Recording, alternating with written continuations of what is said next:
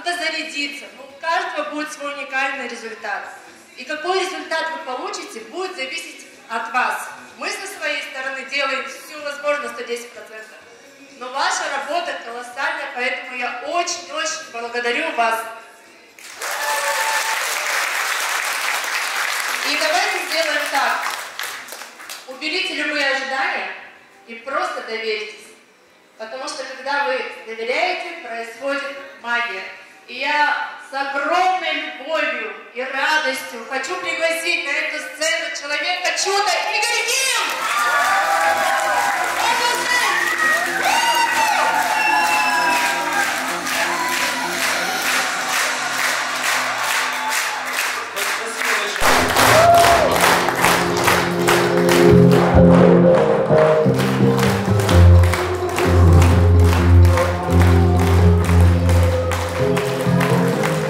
Спасибо.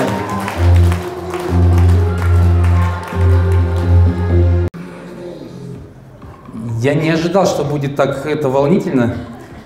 А, Еще раз всем здравствуйте. Я вас всех благодарю за то, что вы пришли.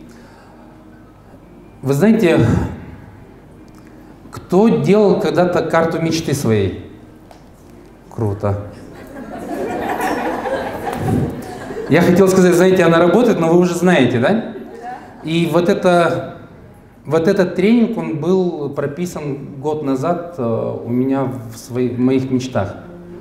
И поэтому хотел бы начать с того, что тот, кто не делал или делал давно, напишите свои 100 желаний после сегодняшнего тренинга. 100 своих хочу. И сделаю небольшой нюанс. Там должны быть только твои желания. Там не должно быть родителей, там не должно быть детей, там не должно быть друзей. Только твои желания, то, что касается тебя.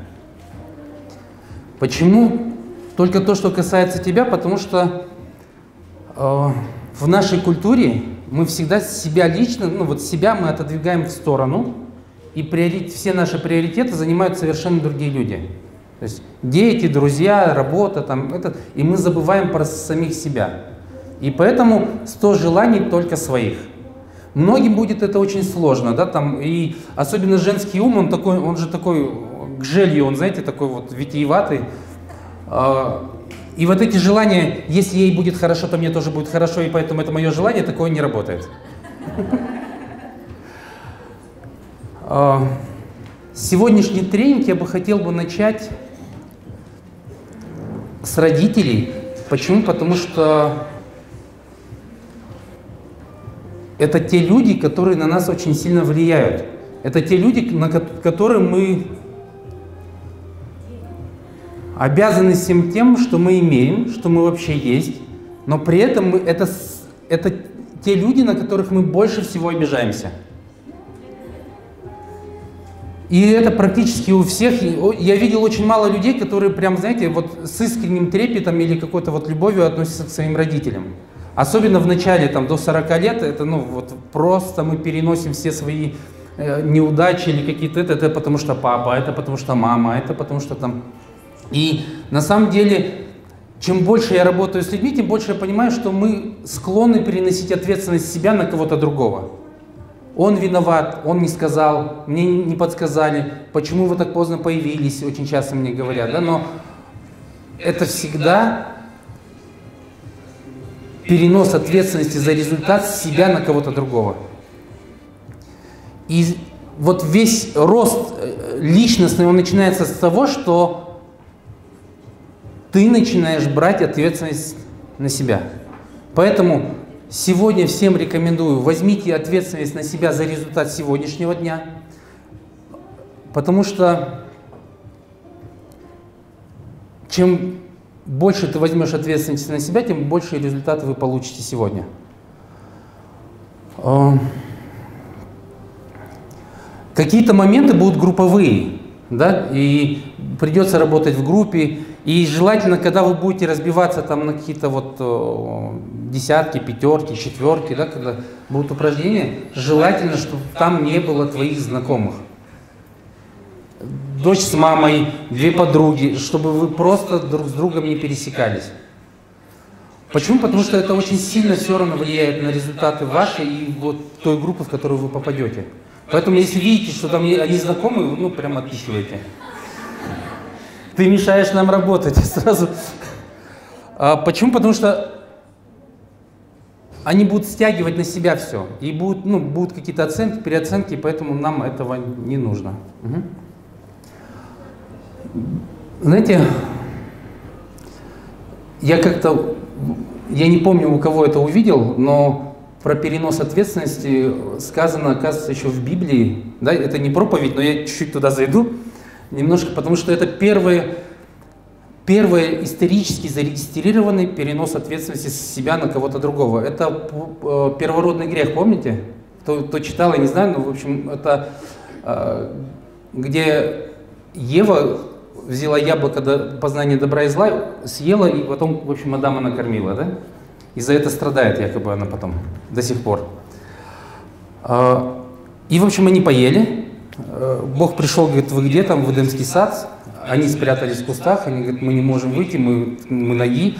Он говорит, выйдите. И они вот в такими фикусовыми листочками прикрылись и вышли вдвоем. И Господь спрашивает, типа, вы ели? Адам сказал, жена, которую ты дал мне, ела, и я ел. Это был первый перенос ответственности. То есть сначала она виновата, а потом вообще ты. Ну, как бы, а я ну, просто так поддался. И на самом деле, если это понять, то в принципе можно дальше ничего не считать. Почему? Потому что потом там говорят, за это там Адам будет в поте лица зарабатывать деньги. То есть мужчина, чем больше будет брать на себя ответственность, тем легче будет его жизнь. Женщина, чем больше будет стоять как бы за мужчиной, тем легче ее жизнь. Это правда, на самом деле. Женщина, которая идет в доходы и в заработки, ее жизнь немножко сложнее, чем та, которая ну, за мужчиной. За мужчиной всегда проще. Но довериться мужчине всегда сложнее. А почему вопросы доверия так настолько сложно прорабатывать? Потому что вот кто водит машину, вы, вы когда садитесь за пассажирское сиденье, и кто-то другой водит, и может даже он лучше ездит, чем ты, ты всегда ловишь вот эту педаль, да? Это потому что ты ему не доверяешь. Доверяться кому-то всегда сложнее, чем верить в свои навыки. Вот мужчина верит всегда в свои навыки, в, в знания, в умения, в умею драться, не умею, умею выживать, не умею. Женщина надеется на него. И это намного сложнее. И поэтому мы всегда, вот у меня что-то такое, да? и женщина постоянно его хочет переделать, да, ну, то есть, а, если кто-то думает, что это когда-то остановится, то это не остановится никогда. Женщину вообще очень сильно раздражает мужчина, который ничего не делает и просто лежит. Даже если ты с работы пришел, а ее вот хуже нету наблюдения за тем, как мужчина отдыхает. Ну, и она, что ты лежишь, мусор выкинь, там что И она начинает его куда-то пихать. А, поэтому, вот. Почему родители? А, родители, особенно папа, это ну, не, не всегда так бывает. Там, смотрите, я буду говорить такие полярные вещи. А, это не, не значит, что если так, то только точно вот так. Если вот это, то точно вот это. То есть там есть миксы такие какие-то, да, и Человеческий мозг, он настолько разнообразен в своих нейронных связях, что отследить э, какие-то более конкретные вот э, вещи очень сложно. Поэтому папа, он отвечает за то, что происходит э, с тобой в социуме. То есть папа прививает людям, что такое хорошо, что такое плохо. Да, помните, как там стих, стихотворение? Папа, папа дает навыки выживания. И папа всегда любит за что-то. У папы всегда любовь условная. Так получилось, то есть, ну, так природой э, дано, что папа учит выживать. И вот эти ваши, знаете, там, папа меня не любил, папа там не помог, он просто наблюдал, как ты будешь выживать. И его задача, чтобы ты в социуме потом выжил. Задача мамы э, природная, материнская любовь, она безусловная. Мама любит просто так. И тебе не нужно ничего делать, тебе не нужно там еще один диплом, еще два языка выучить, тебе не нужно э, там устроиться на хорошую работу. Тебе не нужно ничего делать, чтобы мама тебя любила. Это папе мы носим четыре диплома, квартиру, машину, доходы какие-то показываем, да, и всегда охота, ну, в основном мы перед папой, даже если папы уже нет, что тоже немаловажно, потому что, я не знаю, мы сегодня еще про это поговорим, но о, о папах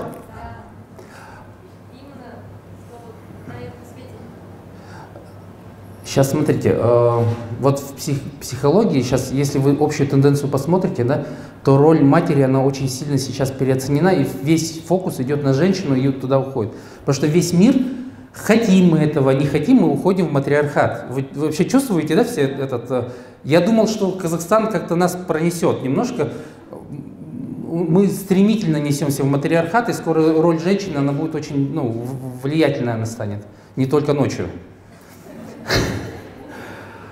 И поэтому, но роль отца, про нее тоже забывать нельзя, потому что отец несет очень большие, очень большие фундаментальные навыки, которые, которые нам потом помогают в жизни. И, знаете, есть кто, у кого обиды на отца? Пил, там, бил. Ага. Хорошо. Угу. А у кого вот обиды на отца, и у них отца уже нету? Ага, хорошо. Смотрите, тем, кто у кого папа еще живой, вам вообще очень легко. То есть у кого папа жив, проработать свои вот какие-то блоки там, или э, вещи с отцом вам будет проще. Почему? Потому что я вам отдельно прям даю задание в течение 40 дней. Подходите к папе, говорите, я тебя люблю и обнимаете. Ну и маму тоже, соответственно. Ага. Для многих это пытка. Для многих они не могут выразить свою любовь, и поэтому, сейчас я вам объясню. А ко мне приходил парень, такой, знаете, этот, он бодибилдер, что ли, он вот, вот такой, большой. И когда мы стали с ним работать, он, и он стоит, плачет, он говорит, меня папа не любит.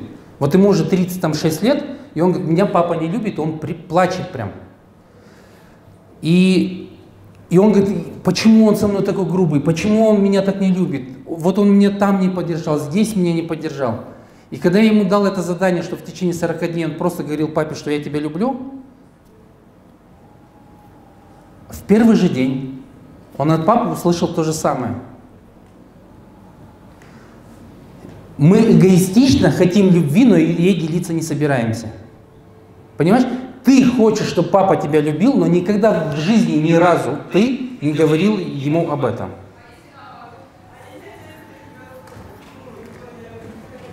Сегодня соцсети есть, сегодня телефоны есть, звоните, говорите просто все. Даже если он бросает трубку, все равно звонишь 40 дней. Я тебя люблю. Это ладно пытка для тебя, прикинь для него что. 20 лет не звонила, и тут такая каждый день, я тебя люблю с добрым утром, да? Вот смотрите, вот я работаю с людьми уже ну, 10 лет. Вот в, в августе этого года будет 10 лет, как я вообще влез вот в это... Сейчас, секунду. Как я вот в это все зашел. И я понял, что аффирмации работают. Многие говорят, что аффирмации не работают, аффирмации сильно работают. Но прежде чем работать, чтобы работала аффирмация, очень важно, чтобы ты сначала изнутри почистил все свои обиды, и поэтому я всегда говорю сначала письма прощения. И вот роль писем прощения в жизни, да, это, наверное, самая крутая терапия, которую ты можешь сделать самостоятельно с собой. И тебе больше никто не нужен, ни я, ни какой-то другой психолог, если ты делаешь это как бы фатально. Если ты не будешь юлить, если ты не будешь там, знаете, как вот, э, ой, да ладно, потом, в следующий раз, да, то есть, э, и если это сделать по-человечески один раз в 40 дней, все, ты святой. И после этого ты можешь начинать э, слушать аффирмации, то есть, или проговаривать аффирмации. И вы увидите, результаты будут совершенно другие.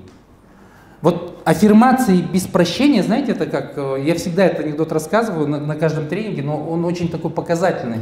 Помните туалеты вот эти копали, которые там двухметровые, этот, этот и потом очко туда ставили сверху?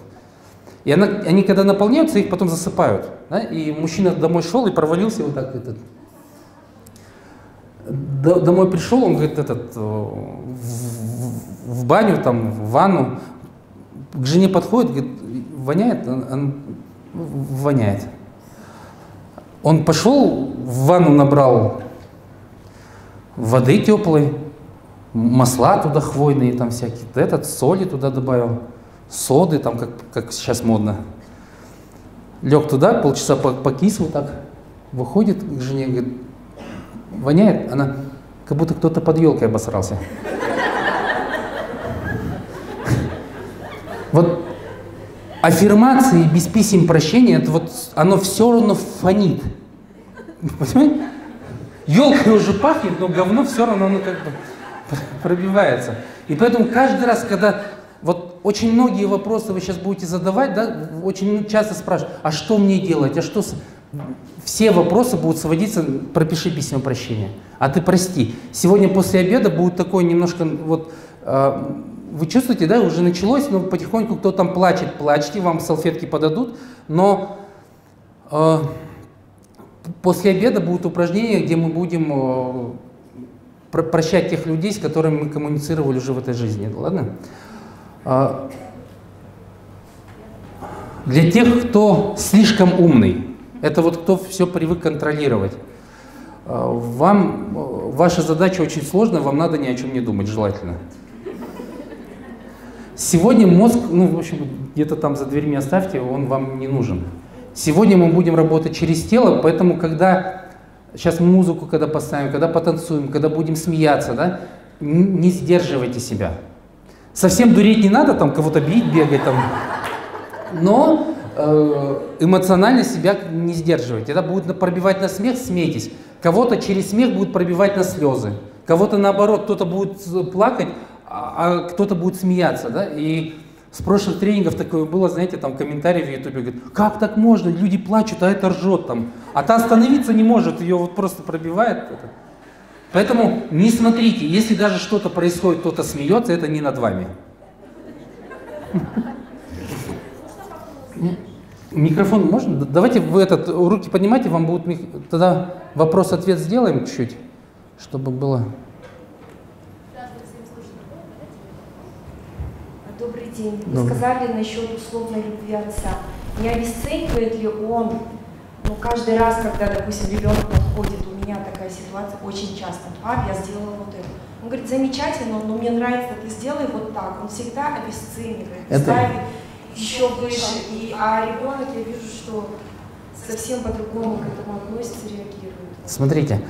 Вообще. И у меня у самой лично, после я э, росла без отца, и у меня мама, мама всегда от меня требовала, всегда, вы знаете, не дай Бог четверку принесешь, боже мой, не говоря уже о тройке и двойке. Вот. И то же самое, я не хочу, чтобы у моих детей тоже такое было, излишний перфекционизм, что ли. Смотрите. Или обесценивание вообще, всегда всего мало. Смотрите, э, довольный папа – это конец развитию, знаете? Как только он скажет, все хорошо, ты такой, все, хватит. Это норма. Я, я, с этим нельзя перебарщивать. Почему? Потому что очень многие повышают цели и не дают ребенку отдыхать. Это если кто-то в продажах работал, у нас ну, в продажах постоянно тогда там э, на миллион продали, давайте ну, на миллион двести следующий месяц. А потом давайте там полтора миллиона. И, и вот продажи постоянно должны расти. И папа с вами делает то же самое.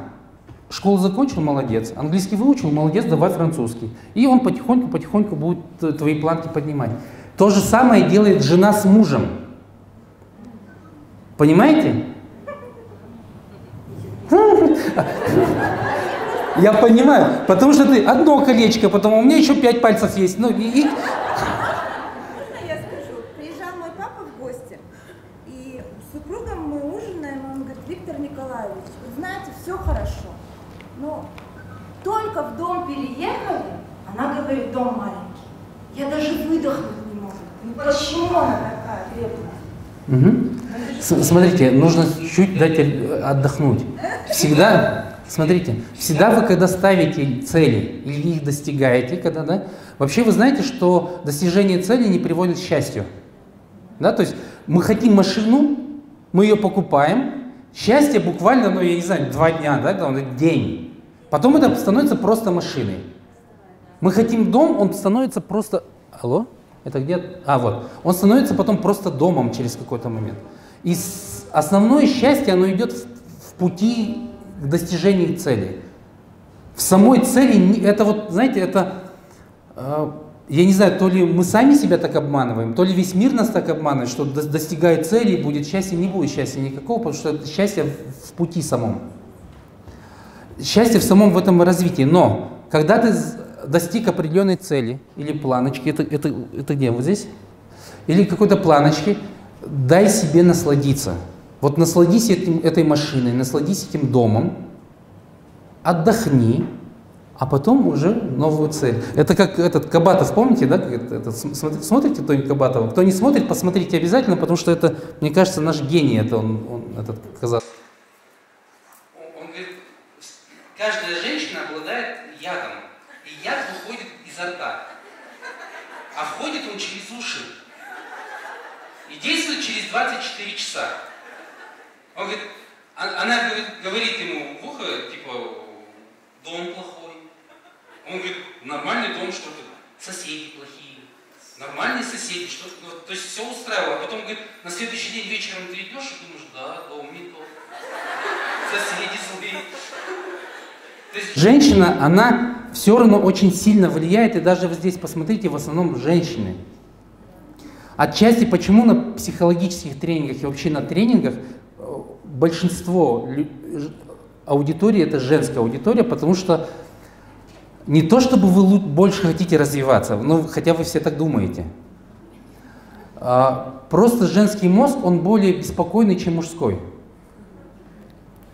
Если вот сравнивать э, мужскую психологию с женской, да, или как-то вот эм- эмоции, если чистые эмоции вытащить, у женщины, у мужчины один эмоциональный центр, у женщины шесть. Женщина эмоциональнее в шесть раз, чем мужчина. И поэтому у, вас вот этот вот постоянно коротит, и у вас поэтому пол- получается беспокойство, стрессов больше. Но при этом вы женский эмоциональный интеллект, он сильно выше, чем мужской. У мужчины почему-то природой заложено и тестостероном, что мы, э, у нас эго больше и сильнее эго, да, то есть мы хотим чего-то доказать, показать, там, почему у него больше, ну, то есть вот, вот так. Женщина может, когда, она когда слабее, она может признать и отойти. Мужчина очень часто не признает просто. Потому что эмоционально ему кажется, что все, вот кон- конец, вот, вот если сейчас проиграю, все. И с годами только, мне кажется, приходит, когда тестостерон угасает, там, к 40 годам, к 50, ты такой, ну ладно.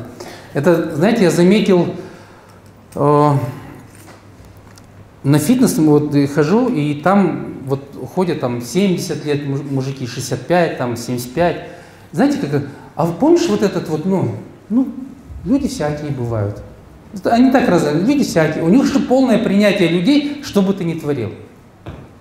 Но в молодости я сто процентов знаю, что они так не говорили. Ну, люди всякие бывают.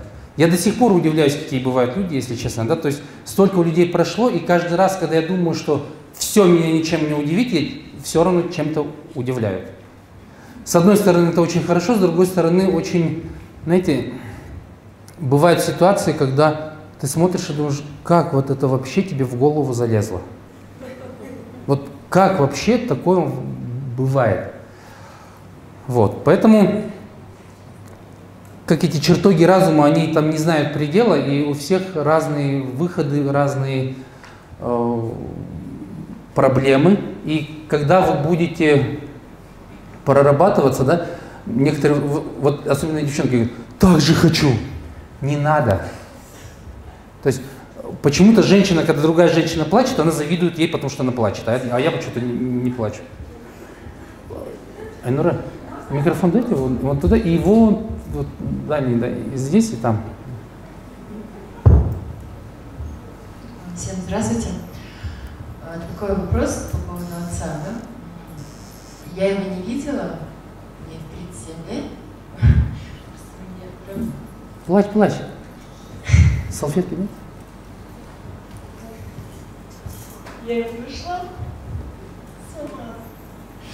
Выдыхай. Это такая тема с детства. С этой болью я очень пришла на этот тренинг, чтобы отпустить это. Меня в детстве обзывали безотцовщиной.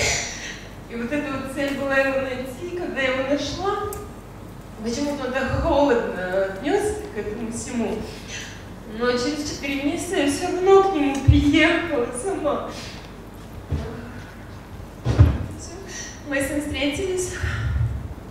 Он сказал, что он, наверное, трус по отношению к тому, что не смог сделать тот шаг, хотя он в соцсетях следил за мной, он видел меня, он наблюдал, узнал, что мы находимся рядом друг с другом. Вот вы говорите, звоните говорите, что я его люблю, да? Я ему звонила, я пыталась, но вроде бы он отвечает, вроде бы как будто он рад меня видеть, но нет никаких чувств. Но это же было не 40 раз. Выдыхай, вдох глубокий. Еще глубже вдох сделай. Ага. Нет, ты успокаиваешься, вдох сделай и выдохни эмоции. Вот так. Я очень люблю, да? Я хочу с ним общаться, я тянусь к нему, я просто сама чувствую, что я не женщина, а как мужик всю жизнь, да? Сама себя тащу, сама добиваюсь, сама чего-то стремлюсь. Если он не будет отвечать, просто для меня это будет еще одна боль внутренняя? И я не хочу, чтобы мне было больно, но я хочу эту обиду вытащить, отпустить. Как быть вот в этой ситуации? Звони.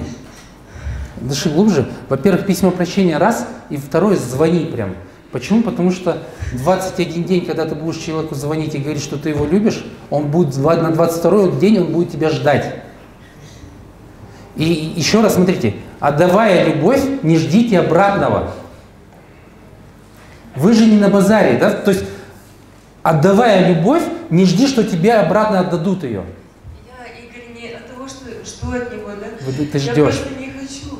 Да, может быть, этим я не От- хочу, чтобы мне было больно.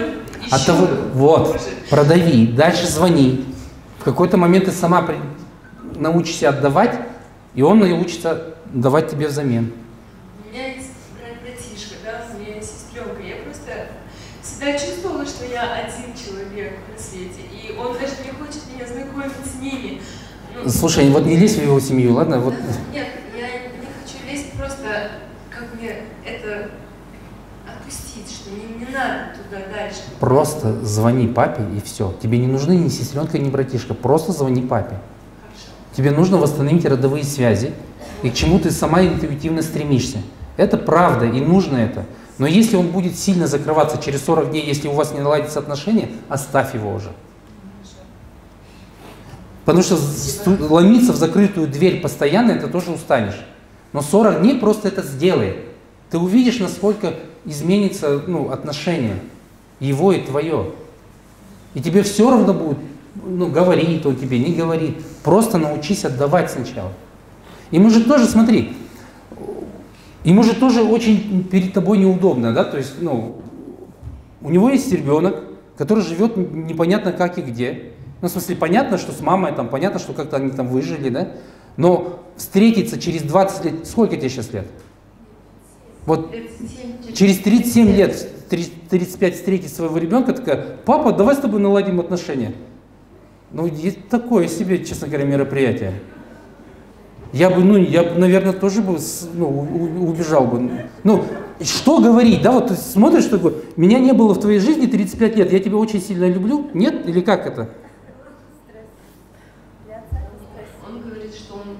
Знал всегда, где я живу, что он как бы думал всегда обо мне, но он боялся.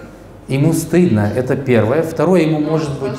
трус, да. Да, ему может быть еще очень больно, от этого он может не показывать. Потом мужской мозг, он не может постоянно думать о тебе, это честно, ну, тут тоже такое.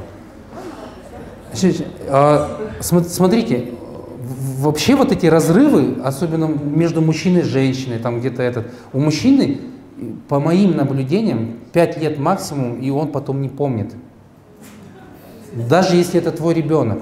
То есть он может следить за тобой, да, там раз там в месяц, но постоянно думать, он, ну, я очень сильно сомневаюсь, что возможно. Мужчины по природе своей мы очень сильно эгоистичны. Очень сильно эгоистичны. Ж- у женщины вот эта вот забота, ласка, любовь, она у вас прошита сразу. Мужчина, особенно наш, ну как бы азиатский, не знаю, там этот, мы очень э, эгоистичны. Очень. Я, я точно знаю, что каждая женщина это почувствовала на себе. Да? Ты там заботишься, что-то там делаешь, он такой, «Э, жрать хочу, да, да. Давай. Подожди. Вон там девушка тянулась. Дайте. Вот в сиреневом, вот этот, в Тифани вон. Цвет Тифани. Сиреневый это или какой? Лиловый, не знаю что.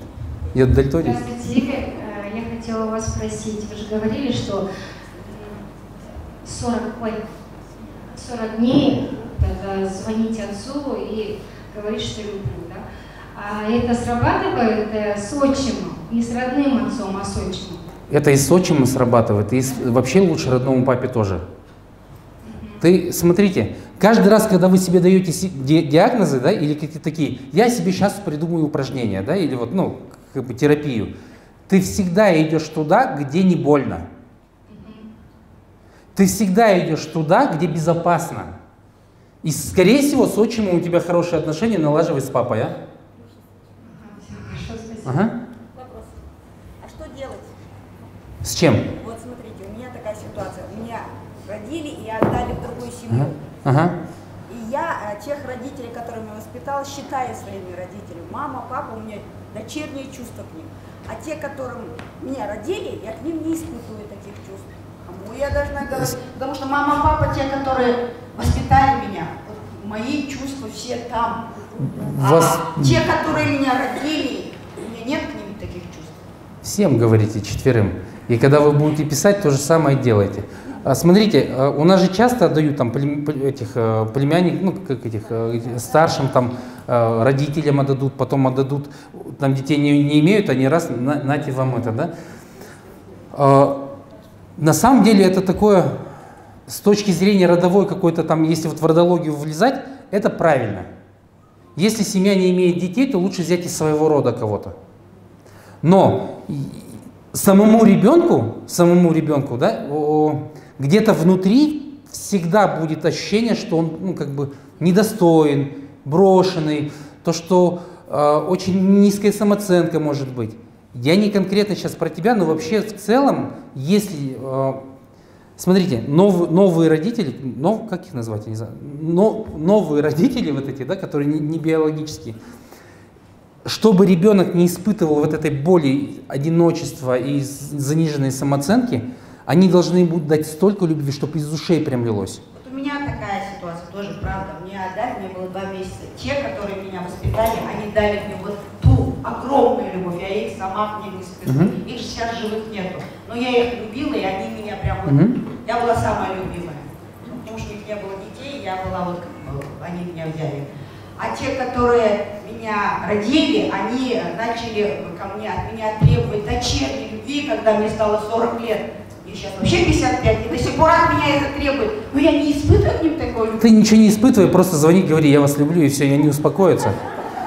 А, они успокоятся, потому что в этом есть же все равно. Они же родили, ну они что-то делали же все равно, ну. Понятно, да. И поэтому, ну, смотрите, все начинается с благодарности, да. Вот э, когда ты хочешь поработать с собой, начни, начните благодарить. И вот вы когда сейчас свои вот ситуации будете рассказывать, я вас, знаете, прошу вот э, на, на такой, на высокой позитивной ноте рассказывайте, даже если там вот полное, ну как бы, этот, рассказывайте позитивно, и вы поймете, что в этой ситуации, в негативной, даже есть что-то ну, такое, что тебя сделало сильнее, ты там стала умнее, красивее, там, кому-то скажешь, ты жирная, да, и она похудела через полгода но она ненавидит тебя все равно. Угу. Вон туда, да, она давно уже тянется.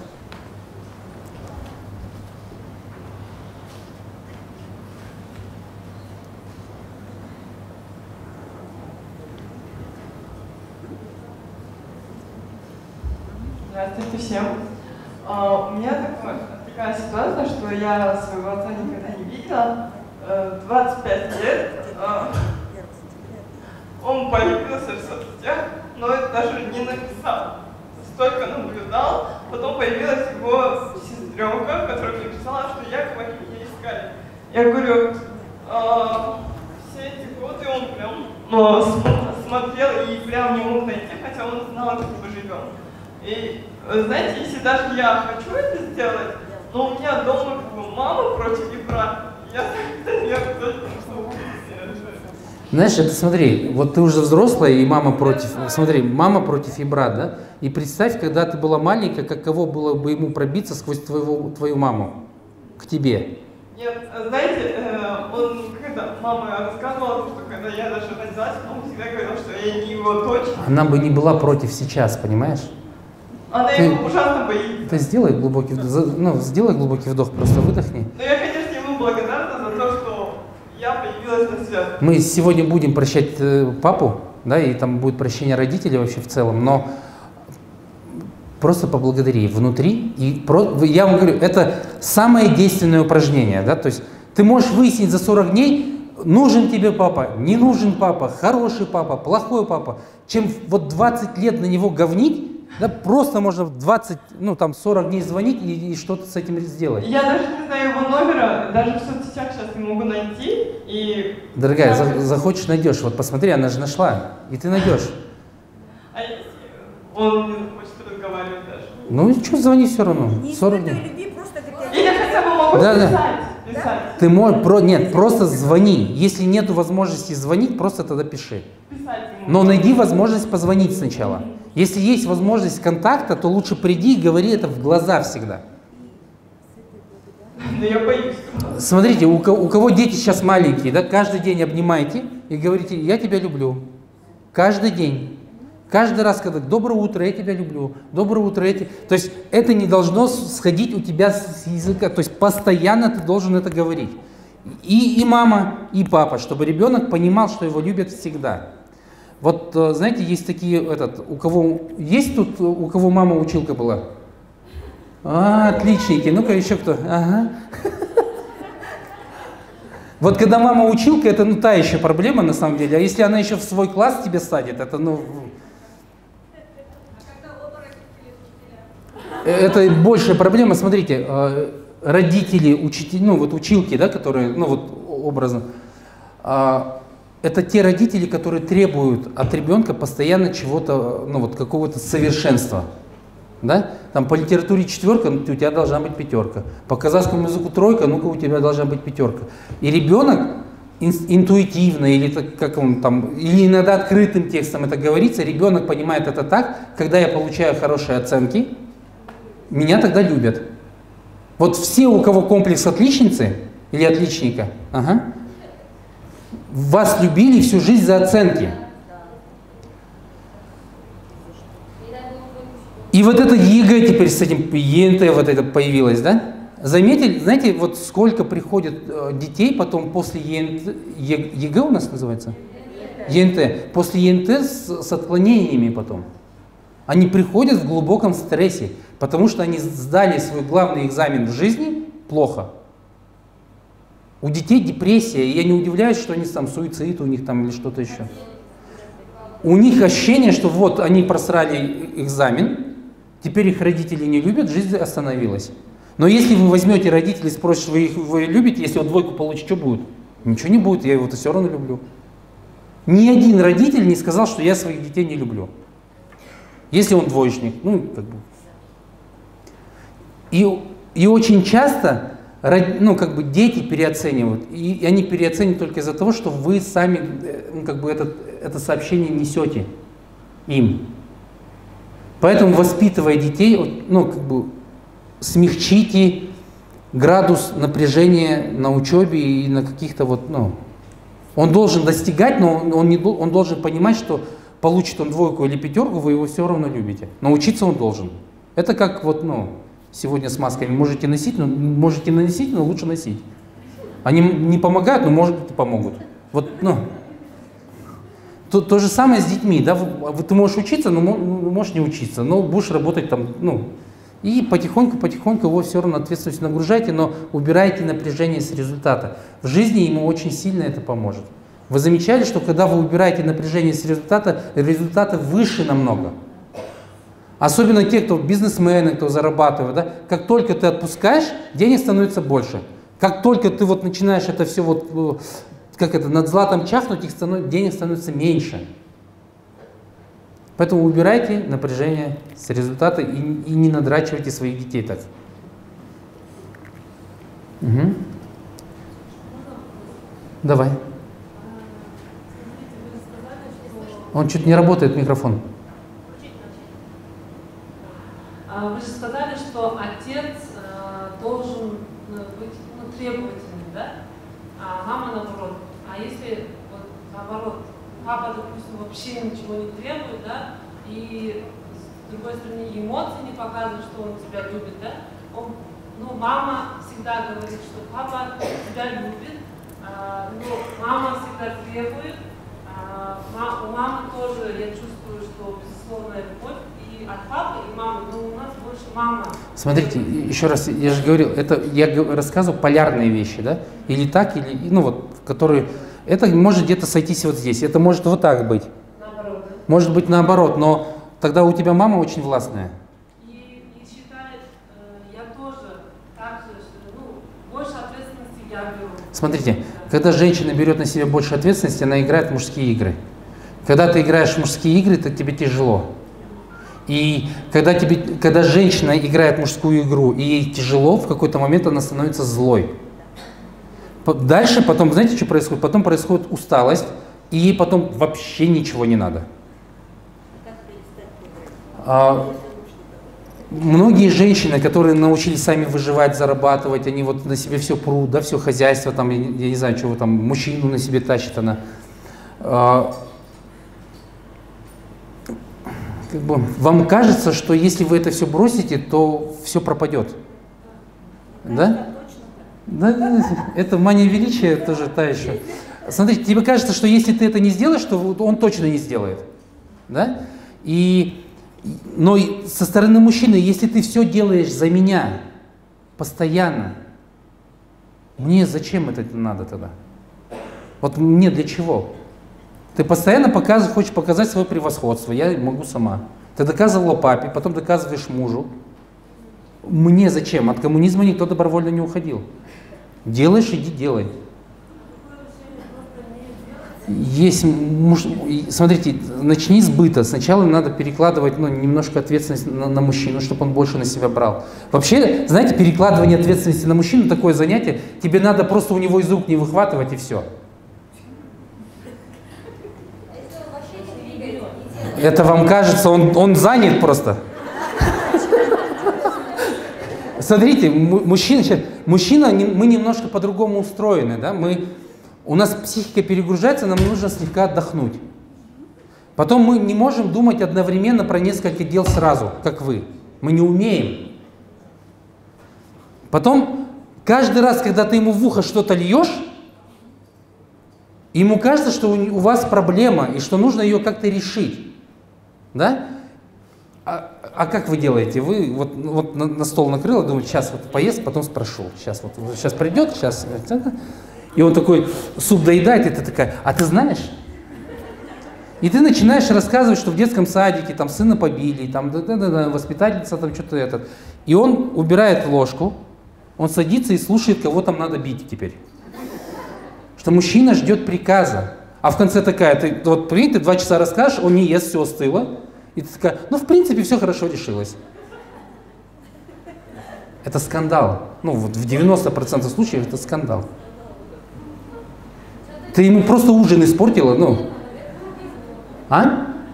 Можно кушать и слушать одновременно. Нет. Сидеть. Нельзя. Это ты можешь. Я не могу. Мужчи- Вот смотрите, мужчины так не, не могут. Нам нужно сконцентрироваться на том, что говорят, чтобы принять решение, что делать. Это вы хотите просто так. А мы ждем команды, понимаешь? И команду вовремя нужно просто ее озвучивать. И если ты хочешь, чтобы он просто так тебя слушал, ты можешь в начале предложения или в начале своего повествования сказать, все хорошо закончилось, просто выслушай. И он тогда похер, ему будет, он вообще тебя слушать не будет. Он будет просто есть, ты можешь рассказывать что угодно. Если ты скажешь, что в конце ничего не надо делать, он будет, ну, вообще, он вообще слушать не будет. Угу, услышала? Теперь смотрите, это немножко вот кто там в парах, вот у кого там муж с женой. Мужчина, когда попадает в стресс, что ему нужно? Ему нужно посидеть одному. Ему нужно одиночество. Женщина, когда попадает в стресс, ей нужно поговорить. И поэтому, когда мужчина видит женщину в стрессе, что он делает? Он делает то, что помогает ему.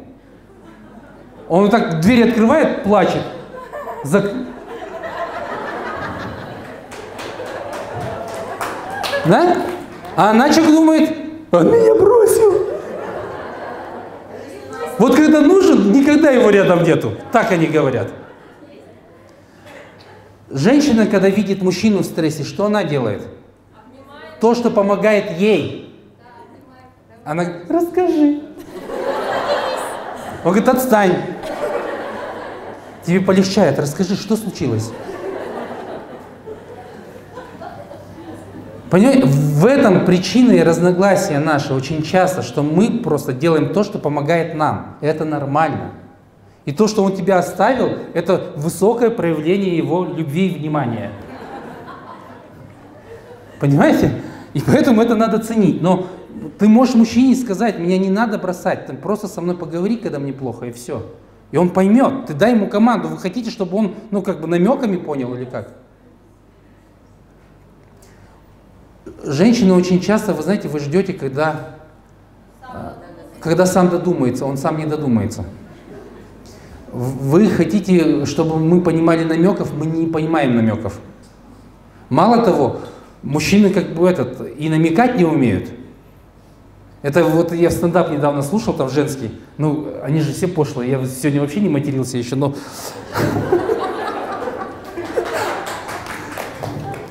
Она говорит, вы знаете, дев- девочки, говорит, мужчины вообще намеков, ну, не умеют намеки делать. Они знаете, как намекают в постели? Они вот так голову, говорит, вот так как-то делают.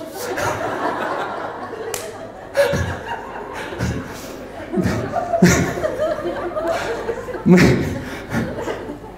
мы не умеем намекать, и нам лучше сказать прямо, вот честно. Просто скажи, что тебе надо. И мы сделаем. И так будет проще. Если сама не знает, что надо. Ну, это сложнее. Когда ты не знаешь, что тебе нужно, это сложнее. Тогда от него, ну, тем более, ты ничего не добьешься такого. Давайте. А, сейчас, давай. Вот вы говорили то, что э, женщина с мужем, ну как бы женщина с мужчиной, она ему как бы в уши вливает, и он там сутки. Это Кабатов? Нет. Э, Ну озвучили вы, например, я первый раз слышу. Э, А если такое не действует, в принципе, как бы ты вроде говоришь, и в принципе, ну сначала намеками, потом уже как бы прямо говоришь, а он такой типа, ну да, надо, и такой дальше лежит. Вот это, ну да, надо, это уже процесс пошел. пошел. Нет, а если вот, ну, так скажем... Нет, смотрите, вы хотите вот так, ты сказала, и он сразу тут сделал. Это чуть-чуть дольше, это не так. Это не нет, так. ну, не на несколько лет типа, На несколько... Смотрите, кто, кто не замужем, есть тут этот... Даже Кто? мизерная просьба как бы. ну, Классно. Ну вот, у вас немного, слава богу. Как выбрать успешного мужчину? Секрет хотите? Да. Скорость принятия решений. То, насколько мужчина принимает быстрые решения. Вот если он зубную пасту выбирает больше пяти минут, ну вот это точно, блядь, это долго все будет. Если он тебе говорит, интересно, ну, сколько стоит съездить в Турцию, и прошло два года, и вы не съездили, ну, это что-то не то происходит. Либо у него жуткая депрессия, если ты можешь от него, ну, как бы, если вы еще узами брака не связаны, то лучше, наверное, другую кандидатуру подыскать. Если вы уже... А? А если уже поздно? Если уже поздно, то надо его тогда ускорить, его вот эти решения. Его надо спину, ну, активно толкать. А если активно, это ссора начинается? Ну что? Всегда будет ссора. Всегда там, где развитие, всегда ссора будет. Ну, терпи. на? Да, живи пока первое время, живи на ссорах. Постоянно толкай, чтобы он научился быстро принимать решения. И он тебя будет ругать, что ты сказала, и он тебя будет постоянно обвинять, он будет делать и постоянно тебя обвинять. В какой-то момент он, он поймет, что это работает, и он потом будет думать, что это он крутой. Нет, ну типа, вот ты меня пилишь, ты меня... Да-да-да, пили. Просто нужно понимать, в какую сторону. Да? Если ты ему хочешь добра и пилишь в ту сторону, то пили дальше. А как бы пока это без результатов нет, ну типа... Ну, значит, что-то ты этот, э, что-то, что-то не там пилишь ты. Там ручка где-то с другой стороны. Давай, сейчас. Сейчас, сейчас. Вон, сейчас, сейчас. Здравствуйте. Вот у меня отец был для меня вот э, всем, да, он меня воспитывал как парня. Я в детстве играла только с пацанами, и вот э, когда выросла, уже начала контролировать, ну как мужчина. Мне еще работа была в органах, да, работала всю жизнь, и теперь я контролирую доча и зятя все вместе. Я не могу уйти от того, что я э, в состоянии, какое у меня такое чувство, что я мужчиной, я не чувствую себя женщиной. А муж есть? Нет, я ушла от него, потому что он был не таким, каким я хотела. Он был, ну, долгая история, но главное, я хочу уйти от этого состояния, что, ну, я хочу быть женщиной. Я вам сейчас скажу неприятные вещи. Для того, чтобы вы свою пр- проблему решили, да, вам нужен мужчина все равно. Вы вот как вот, вы, вот всю жизнь вы от этого бежали, вам все равно придется найти мужчину, если вы хотите отпустить детей. Смотрите. Когда мне своя жизнь интересна, я начинаю жизнь, жизнь своих детей. Или чью-то там, или там подругу найду, которая там умирает, там она там, этот, у нее трагедия постоянно, да, и я ее начну поддерживать, ее жизнь жить, и, ну, и, и- заниматься, ну, вот, непонятными вещами. А, Но когда мне своя жизнь интересна, вот честно, мы, вот тебе будет ни до кого вообще. Ни до детей, ни до, там, ни, ни до кого. Но я же чувствую себя мужчиной, мне надо вот щелчок какой-то, наверное. Щелчок это мужика найди. Ну, Вы, вот, знаете, я вот сколько пробовал округлыми фразами всегда говорить, там, там не, не получается. Просто найди мужчину, и ты станешь рядом с ним женщиной. Просто когда он появится или когда появляется, он же появляется все равно периодически. Вот именно появляются одни вот нытики, которые ничего не, не умеют. Слабаки. Слабаки, и ни- ничего для них не надо, кроме как э, диван и хавчики, э, и все. Вы как это, знаете, профессиональная деформация. Смотрите, а, кому еще там слабаки попадаются? Поднимайте руку, про вас поговорим немножко. Ага.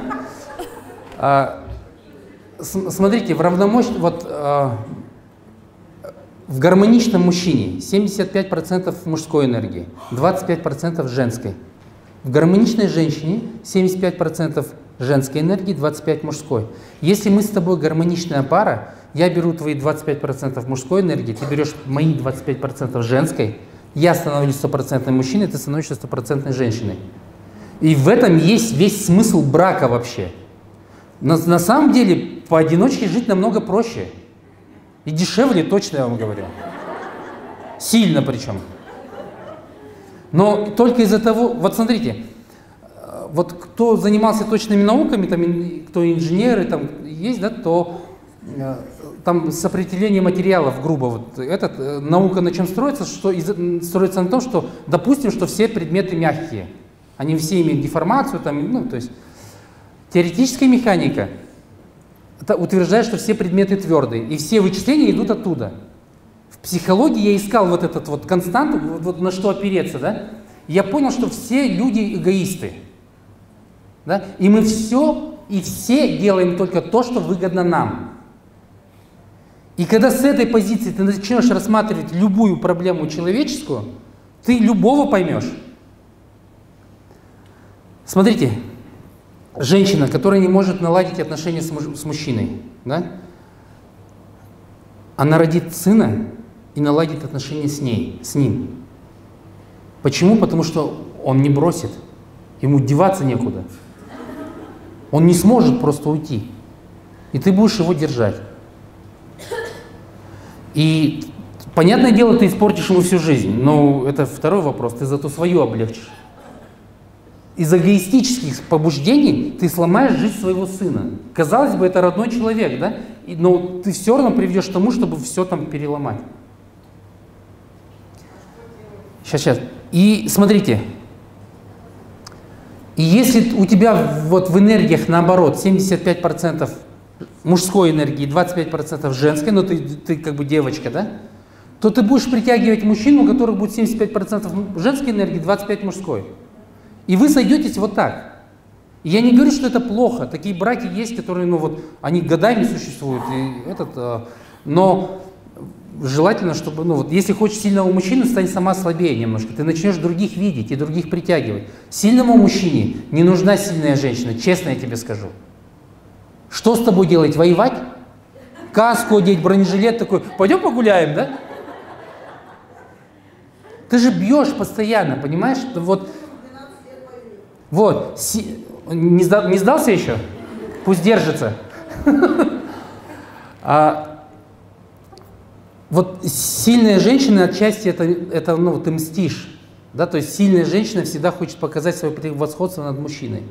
Это месть папе. Вот мы сейчас опять к папе будем возвращаться. Это месть папе. Ты будешь мстить, ты будешь показывать, какое ничтожество этот мужчина. Тебе будет казаться, что просто тебе попадаются такие мужики, но на самом деле тебе, ты, тебе просто, у тебя много претензий к отцу. И вместо того, чтобы звонить 40 дней и говорить, папа, я тебя люблю, ты будешь бить по голове каждого мужчину, который тебе подходит. Каждого. Понимаешь? А тот, кто подходит, наверное, у него с мамой не очень, и он по голове. Зевота, смотрите, сейчас у многих отрыжки, да? У многих зевота идет, это сброс шлаковых энергий, это нормально. У кого-то идут слезы, это тоже хорошо. Голова болит, это, это тогда, когда ты со мной не согласна совсем. Это челюсть трясется, дыши глубже, скорее всего, скоро выход начнется. Сейчас у, у кого-то начнутся выходы. А, смотрите, мы... Сейчас будет все веселее немножко. Ага. Давай. Немножко про свою личную ситуацию могу Давай. сказать, спросить. Про доверие, да, вы сказали, что женщинам, которые доверяют и полагаются на мужчину, намного жить Проще. легче, чем да, женщинам другим. Вот, у меня личная ситуация, в 15 лет в браке, мы рано поженились с супругом, были студентами, у него родители рано умерли, у меня или без родителей, мы сами, мы вместе друг друга делали, становились, всего добивались. Все 15 лет, я, можно сказать, посвятила всю себя семье, четверым детям, мужу, а, когда нужно было, помогала ему в бизнесе, в становлении всегда. Вот. И получается, я целиком полностью всю свою жизнь доверяла ему. Угу. Вот знаете, все до последнего, когда нужно было, да, какие-то моменты в бизнесе, свою последнюю квартиру продала, отдала для бизнеса, тетю попросила. Чуть-чуть да, сократи. очень, Теперь да. но. Но приш, настал такой момент, видите ли, последние три года Мгм. он встретил девочку на 13 лет старше, да, и эти три года он не может там никак порвать, меня все агитирует, чтобы я приняла его вот с его любовью, говорит, второй женой, представляете? Вот. И как теперь вот довериться? И после этого думаешь, блин, надо было наоборот себя делать. Понимаешь, вот у меня ситуация сейчас вообще такая сложная, си- я реально, сейчас я уже на самом деле, за эти три года очень много что произошло, но я пришла к тому, что я на самом деле все, я, у меня не осталось к нему никаких чувств, да, я пришла проработать единственные мои обиды на него, на самом деле. В смысле, любви нет? Ты хочешь развестись? Я его на самом уже? деле, у меня к нему осталось только жалость. Любовь какая-то есть как к близкому человеку. Ну, как мужчина его вообще не вижу не люблю. А он не хочет опускать, он говорит, я тебя люблю, говорит, но я не понимаю его любви. Как так вообще может быть? А, Это, это в Казахстане это сейчас очень сложный вопрос на самом деле.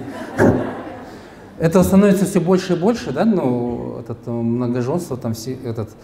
И я уже, ну, так получилось, что я рассматривал очень много уже семей, которые, где вот, ну, где вторая жена, там, третья жена, там до четверых можно, да, или до, до куда? А, вот, но, э, если честно, то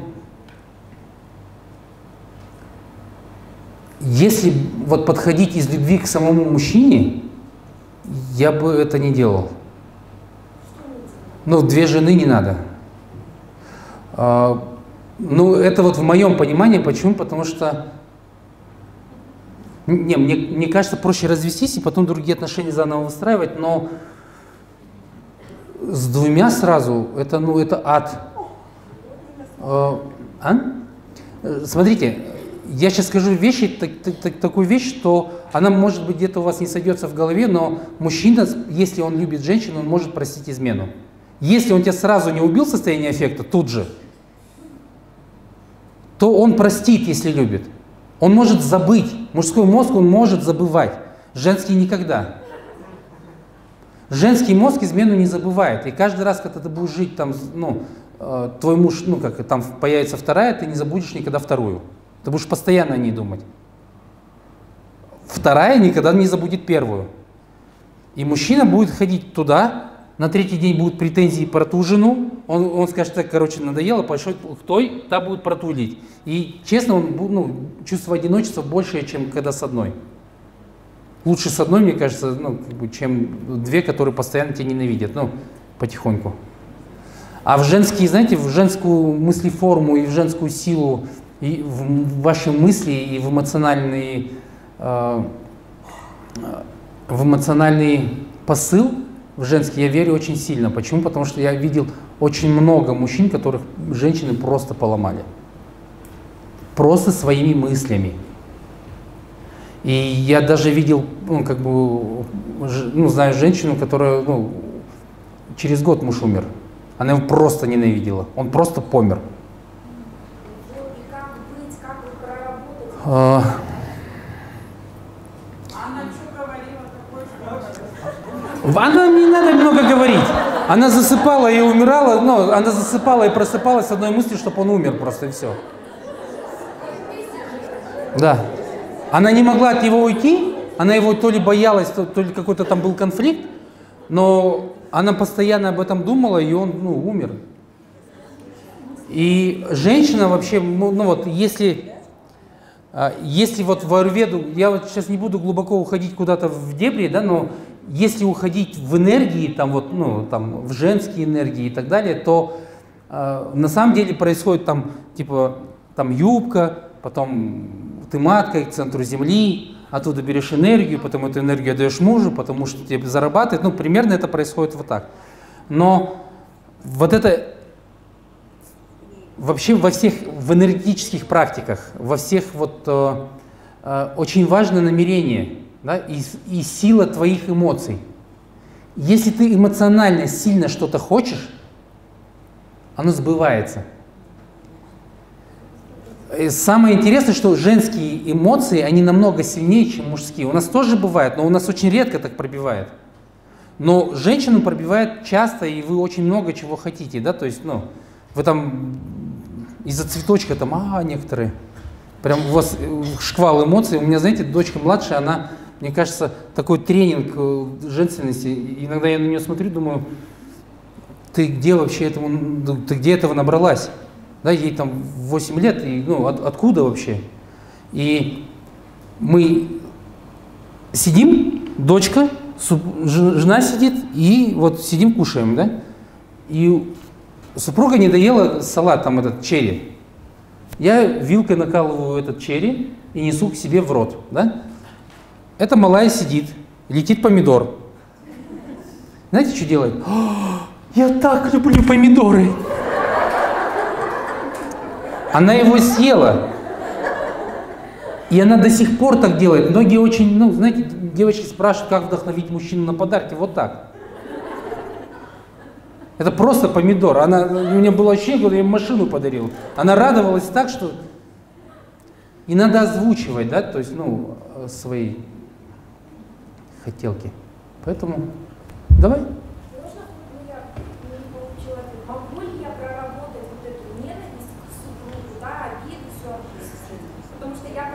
Вы вернетесь все к письмам прощения. И сегодня после обеда будет э, прощалки, ну, как бы этот, э, прощайте. Там, ну, там будет медитация, будет еще там упражнение, сейчас я этот э, потом объясню. Вам надо будет на обеде, наверное, на обеде, да, там, да, да, да. На обеде вам надо будет поделиться на, на десятки, но так, чтобы у вас не было внутри знакомых. Да? Желательно, чтобы вы были с одной, ну, где-то вы можете где-то пересекаться, но, но все равно вы будете в группах работать, и это очень важно. Поэтому, когда пойдем на обед, вы, вы сами там поделитесь, ладно? Чтобы мы знали, что у вас будет где-то сколько, 10 десяток будет, 10-12. И тогда мы будем там поработаем чуть в группе и повытаскиваем вот эти прощалки этот. Можете там плакать, кричать, вот, ну, в общем, вытаскивайте максимальные эмоции. Вот. И это не значит, что ты сейчас там попрощала там 5 минут и все, и, и все прошло. Письма прощения, потом забьете, находите в Ютубе письма прощения, выйдет вот эта 40-дневная вот эта вот, э, штука, и 40 дней просто пишите. Фатально будете писать, просите всех, ему уже тоже.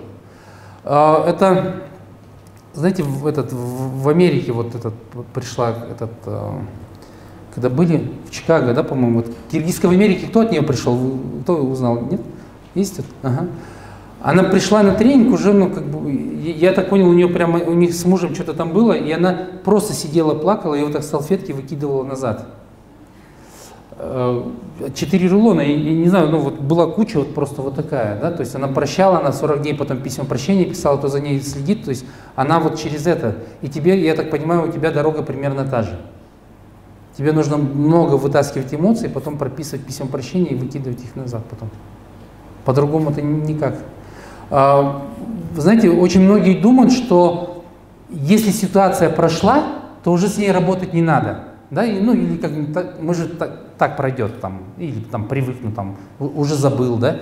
Но оно не проходит. И то, все, что касается эмоций, оно начнет тебя потихоньку пробивать вверх.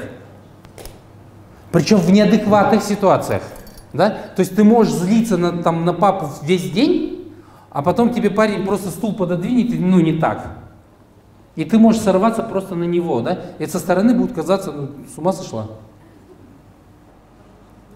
А у тебя просто это копилось ну, как бы в течение дня. И многие очень часто агрессию копят всю жизнь, и потом потихоньку неадекватно это проявляется где-то на стороне.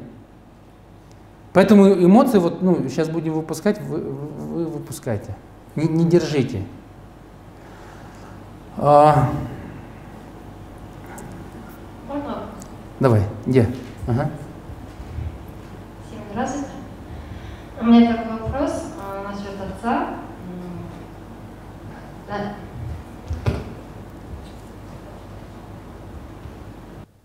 Извините, минуточку. Да выдыхай, ты, ты не глотай минуточку. Нет, у меня есть, спасибо. А, в 2020 году я пришла к такому выводу, что я должна просить отца. А, меня все уговаривали, проходила несколько тренингов, думала вот-вот-вот-вот-вот-вот.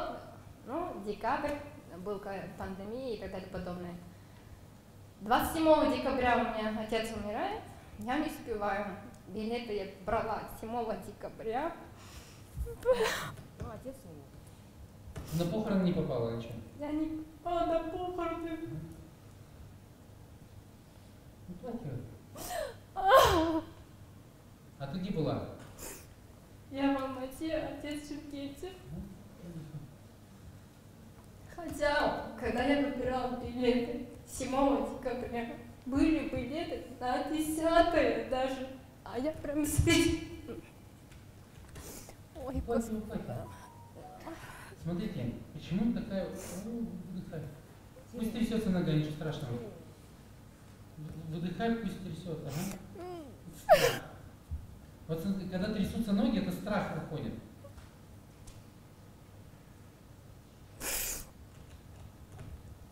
Я хотела сэкономить денег заранее. Если заранее, в обеде, даже если заранее месяц вперед, там идет скидки. И вот на эти гробаные скидки я повелась. Мне сейчас обидно, что я не успела. Я, он вроде 27-го умер, а я могла бы 10-го прийти, прилететь к нему, попрощаться. Вот он Выплакивай. Вдох глубокий. Вообще, на самом деле, большая трагедия, когда ты не можешь попасть. То есть, ну, человек умирает, а ты не можешь приехать, да, так бывает. И таких историй я наслушался в Америке, знаете, вот море прям. Они уезжают туда, не могут получить гражданство, сидят там, им нельзя выезжать, а здесь все умерли, короче. Сначала там тетя, дядя, там, т -т -т -т, и все начинают умирать, да, и, и они не могут попасть. Я всегда боялся этой ситуации, думал, как ты вообще так, ну вот, насколько сложно это, да, и кто знает, я сам в этом году попал в эту же ситуацию, да, то есть я уехал в Америку, папа умер, и я не мог вернуться. Ну, то есть и, там нереально было просто ничего, этот. И знаете, что самое интересное, что я не скажу, что я там не плакал, там, что там не было там э, больно или не больно, но я вам скажу, боли не было. Вот реально не было боли. Вот то, что сейчас у тебя, у тебя все болит, дрожит, выдыхай. Смотрите, мы всегда, мы вот живем так, тем более с этой, с, этим, с этой короной непонятной, да, вообще непонятно, кто когда умрет сегодня. Мы живем как в состоянии войны. И сегодня, наверное, уже раз в месяц я бы рекомендовал всем завершать все свои незавершенности, которые у вас есть.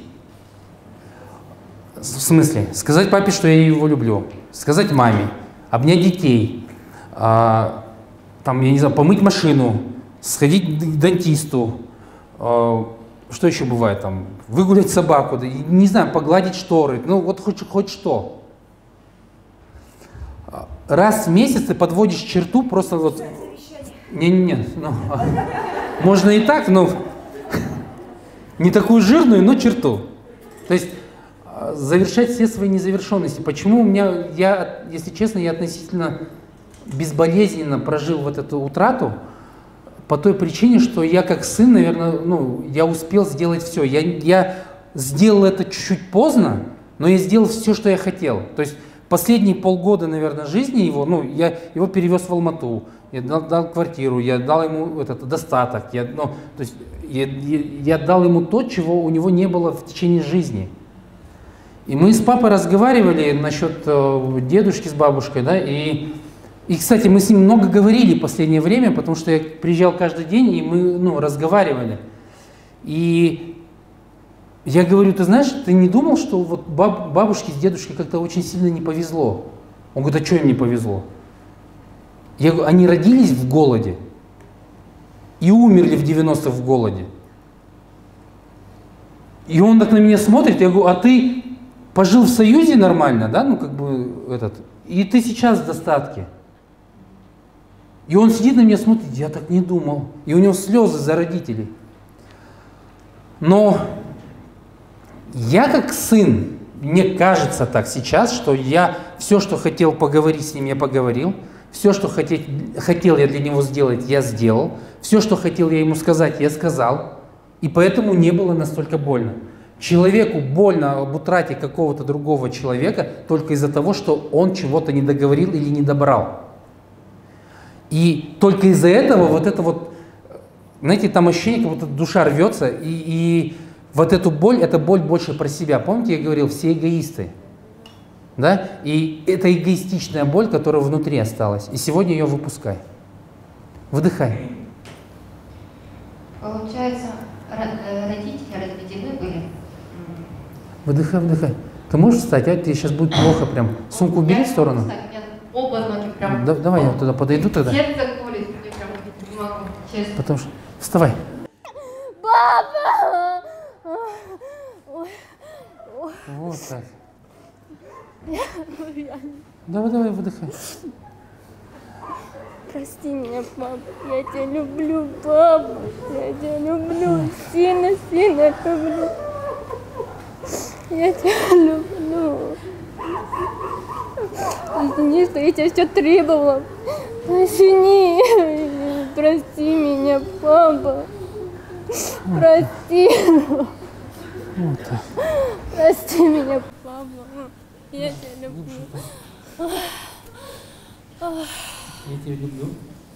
Я тебя люблю, папа. Я отпускаю. Я тебя опускаю, папа. Я тебя благодарю. Я тебя благодарю. Я тебя благодарю. Что эмоции? Руки ока- ока- окаменели. Не имеют руки? Да. Дыши глубже. Давай глубже еще.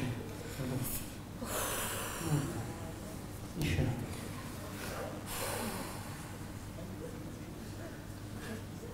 Он хотел увидеть моего сына. В 2019 году был у меня случай, я ехала в Чимкент.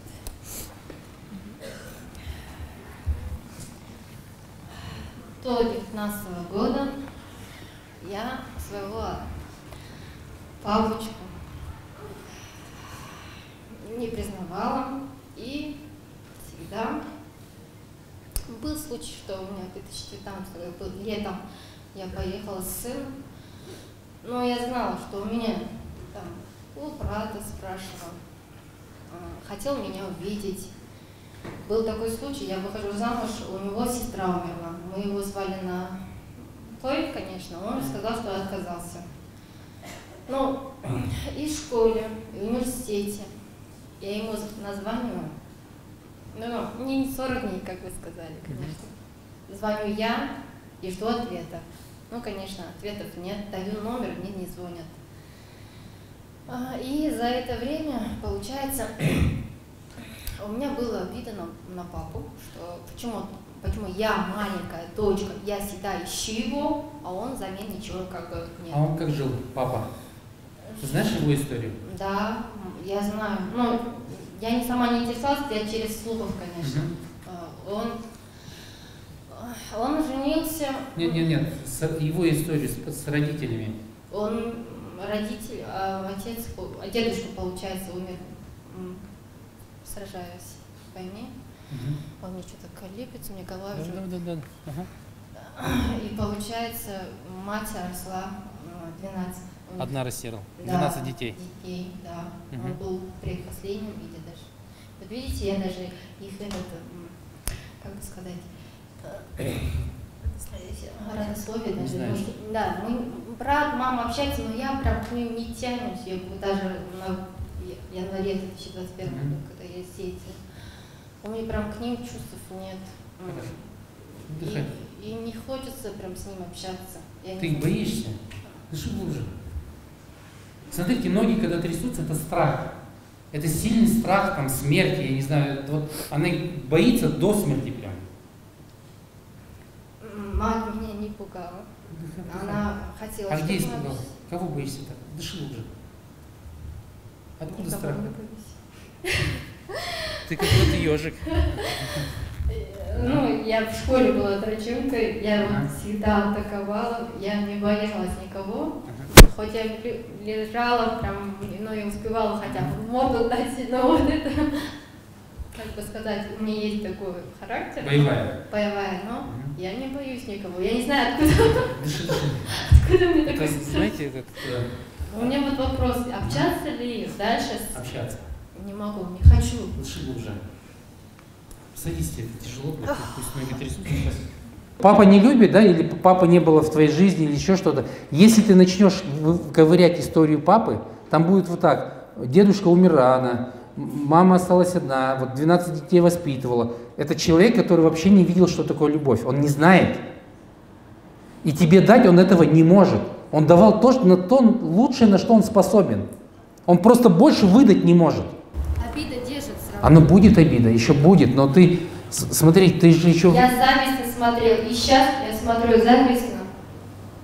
Вот, открыто, завистно смотрю. У кого отцы есть, завистно смотрю. Смотри. Прям мне хочется вот, чтобы мне вот это было. Потом у меня есть отчим, тоже любит, но не знаю, я или мама ревную, что я не знаю, я не могу себе понять. У меня просто хотела своего родного, но вот не успела. Я хоть плакала, я ей писала, но не опускает. У меня обидно, что я в девятнадцатом году не показала себя, своего ребенка. Но он хотел видеть внука родного, а я вот ну, эгоистично получается. Типа, мол, у меня обида, он же меня не искал, на той типа не Вот пришел. Больно. Да, Знаю. на той не пришел, не созвонился, не, не приехал. У меня только одно, одно, единственное,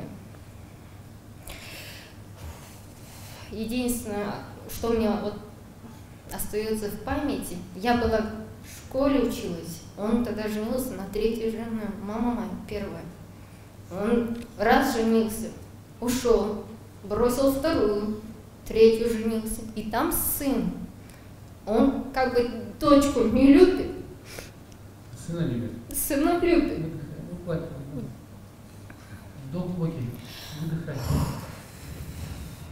Картинка остается такая. Мы в базаре. Выдох. Все, глубокий вдох сделай. И выдыхай.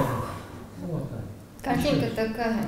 Он в базаре, видели? Он со своим семьей был.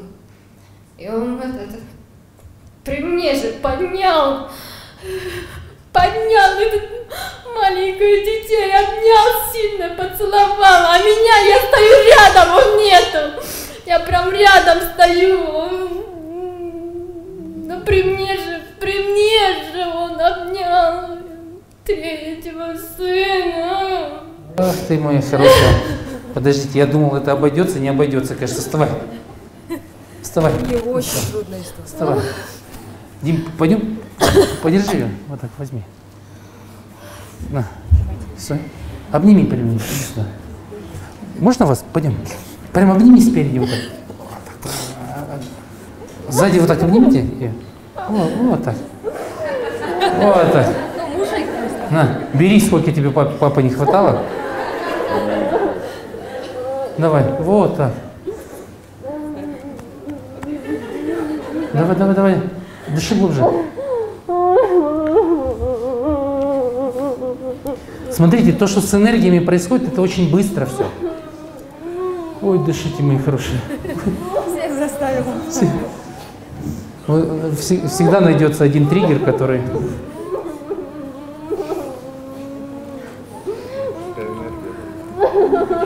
И отцовской любви не хватает, она сейчас наберется и будет легче. И пока она будет вот, пока она вот, пока ей не хватает, она будет требовать эту любовь до тех пор, пока она ее не получит. И только с момента того, как она эту любовь получит, начнется развитие ее. Потому что сейчас то, что она... Держите ее, не отпускай. Командует там. Вот. Вот. Чего? А? Ты еще... Ты... Пойдем. Ты хочешь совсем в этот, да, войти в этот образ? Давай. Вот так, держи туда. С женщинами вот так всегда. Мало двух, еще третьего подавай. Вот как, вот, вот, девочки, как с вами тяжело, вы понимаете, да? Сейчас, сейчас. Двух мужиков дали, не те, блядь.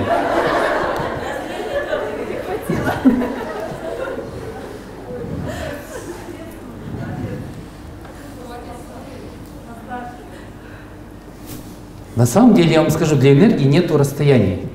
И там нету худой, толстый вообще точно.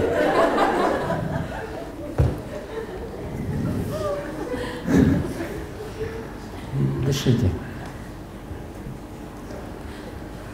Вот и хорошо. Полгруппы с тобой проработалась, и больше даже проревелась. Сейчас, сейчас мы там этот... Я, Игорь, знаете, хотела поговорить э, про маму. До 12 лет мы жили с мамой. Ну, потом у меня появился отчим. В детстве меня мама очень э, за все, если я что-то не так сделаю, в общем, она меня очень сильно ругала. И в какой-то момент она даже этим восхвалялась тем, что если я увижу тапочек, то я писаюсь. И для нее это была как будто гордость какая-то. Для меня это было ну, такой очень сильный страх, и перед всеми родственниками она всегда э, ну, смеялись все надо мной, что вот ты видишь тапочек, и ты писаешься. Вроде бы все посмеялись, посмеялись. Она тебя им била, да, этим тапом? Да. Вот я что-то сделаю, она прям все, у меня был такой страх. И по сей день, если я что-то не так сделаю, чтобы маме не понравилось, чтобы, в общем, всегда, чтобы ей все нравилось. Мне это надоело. Мама одна воспитывала? До 12 Папа где был? лет. Ну, отца не было у меня, я же говорю, я его нашла 35 лет. Они не жили вместе. Потом, получается, у меня с отчимом, ну, у мамы с отчимом не было детей. Я вышла замуж, родила. Всегда моей матери не нравятся мои мужья. Был у меня второй муж, но получилось так, что маме не нравится. И, в общем, дочка моя переписалась сейчас, ну, она воспитывается с моими родителями. Ты, короче, их отдала, отдала дочку? Да, она воспитывается у моих родителей, отчима и матери. И просто получается в этой ситуации, что я даже им как будто как и не нужна. Смотри. Понимаете? В общем... Кого еще мама одна воспитывала? Сама. Где мама одинокая еще? Смотрите, когда, вот помните, да, у папы любовь условная, у мамы безусловная, да? Когда мама воспитывает ребенка одна, или кто сейчас воспитывает еще тоже там это, да? У тебя, безусловно, условная любовь. И ты, верховный предиктор, становишься для ребенка, и твое слово значит все. То есть для, него, для ребенка твое слово значит, что ну, оно вообще не подлежит обсуждению, оно не подлежит там, оспариванию какому-то. Все, что выходит из своего рта, истина. И в этом, с одной стороны, ну, может быть и хорошо, но это, ты становишься палачом и судьей одновременно для, для ребенка, и он будет постоянно оглядываться на тебя. И от, от этого не будет ответственности у него. Он будет хорошим, посмотри, особенно если у вас мальчик, это капец, это вообще честно, это, это, э, это, это будет идеальный мужчина, который сформирован у тебя в голове. Ты будешь его делать для себя. И когда он приведет женщину домой, ты будешь против. Потому что ты ростила, ростила, а сука это взяла и себе забрала. Понимаешь?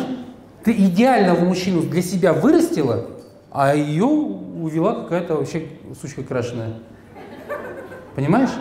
И сейчас, сейчас, подожди. И мамы такие, ну вот, э, такие мужчины, они, у них проблемы вообще с ответственностью очень сильные. Если не было рядом мужчины, у, у, и у мальчика, и у девочки большие проблемы с ответственностью. Потому что просто можно что-то сделать, можно не доделать, там, ну вот какие-то такие вещи. Поэтому мужчина растет, как бы, всегда, как, как говорят, под юбкой матери, и он становится беспомощным, он, но он эмпатичный, он очень чувствительный, он знает, когда тебе позвонить, он знает, что на смс отвечать лучше через 15 минут, а не сразу. То есть он знает все тонкости и уловки, которые знаете вы. И такие мужчины, они очень, очень легко входят в доверие к женщинам, сильным особенно. Они как бы тебя окутывают своей заботой и дают тебе то, чего тебе не хватало. А потом в момент, когда ты без него не можешь, он убирает руки, он бросает. Это его месть маме. И может быть отчасти вот это вот, где она, а вон, папа, то, что там три жены, он, может быть, от этого еще бывает. Потому что он постоянно будет, как только ответственность нагнетается, он раз ушел от ответственности. С кем? С мужчиной или с девочкой? с женой. Уже брось. Это не начинается, знаете, там уже когда он взрослый. Это начинается с малых лет. Его потихоньку так воспитывают. Это вот то, что мои, ну вот наши наблюдения в песочнице, пока мы растили детей, это то, что мама, когда одиночка приводит сына на, в песочницу с игрушкой какой-то, да, другой мальчик у нее там младше возрастом, начинает ее забирать, типа дай поиграть, мальчик что делает? Не дам.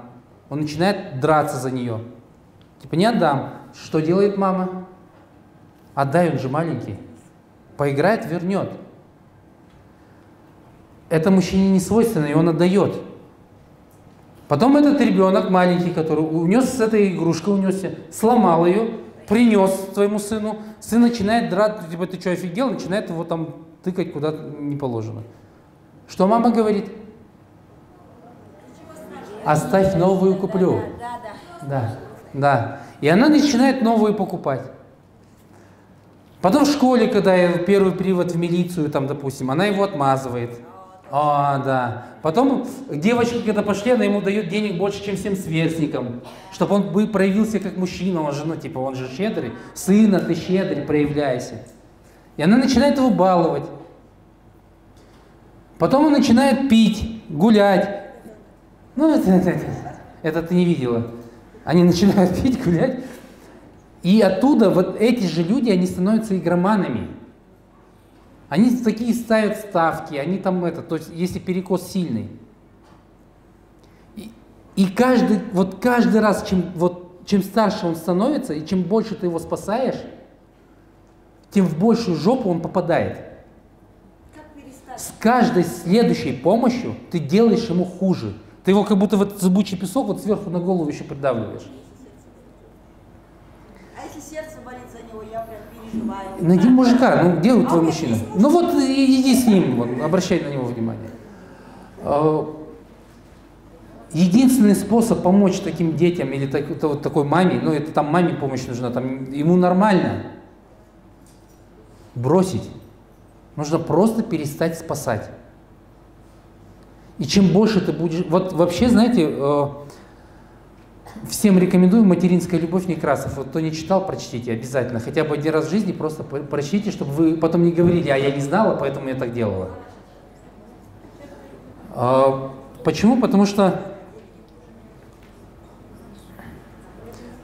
Вселенная, я не знаю, там, там кто там, так создана, да, что если, если кто-то вот в паре, да, другому мешает развитию, этого человека убирают. Знаете вы? И, и он, он умирает. Если, вот смотри, если родители мешают ребенку развиваться, уберут родителя. Если наоборот, уберут ребенка. Но это, это надо довести до этого, ну, это надо очень сильно упереться, но так бывает, так случается. И если, если ребенка начинают спасать другие, другие тоже начинают постепенно уходить. И если вы посмотрите много семей, э, это действительно работает. Я когда его читал от Некрасова, да, я думаю, да ну гонишь, короче, что за фигня. А потом начал родственников ковырять, начал, вот люди стали приходить, их стал спрашивать, что у них происходит. Везде, там, где кто-то кому-то мешает развиваться, одного из двоих уберут. Обычно это всегда происходит в парке. А, мать, когда у нее есть муж, и она все равно в сыне, она не с мужем. Понимаешь? Она не с мужем. И твоя задача переключиться, ту любовь, которую ты даешь сыну, переключиться на мужа. И ты посмотришь, как изменится два мужика вместо одного. Понимаешь, ты хотел изменить одного, а изменишь двух. И на самом деле очень много э, у, у женщин власти очень, у вас очень много над, над, над всеми, вы, вокруг вас все вертится. И сколько я не ковыряю вот эту психологию, везде вы. С мужиками проще все. Но у вас влияние, оно намного шире, оно намного как бы объемнее, потому что даже если вы посмотрите, учителя, короче, в детском садике воспитатели женщины, в школах женщины, в университетах женщины, вы везде. И мужиков этих воспитываете тоже вы.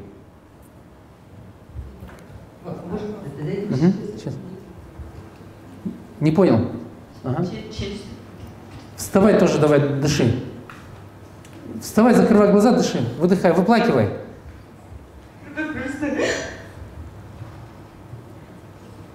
В голос реви прям, не этот. Вставай.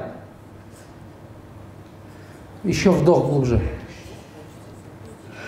Все, по-моему, сейчас это так... Все, давай. Давай. Вдох глубже. Выдыхай. Еще. Вот. Да. Давай. Выдох.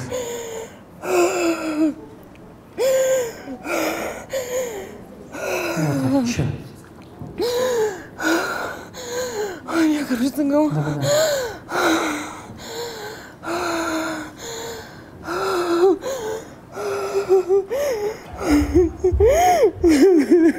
Вот так. Сдавайся. Почему так?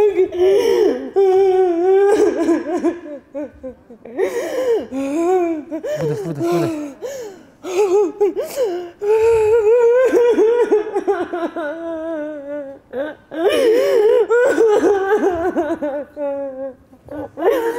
Пускай, пускай. Сядь. Ага. Ну как, глубокий вдох.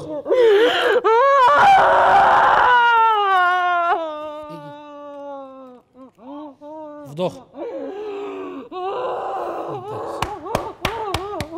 Вот так. Ну-ка. Выдох. Еще. Еще. Еще.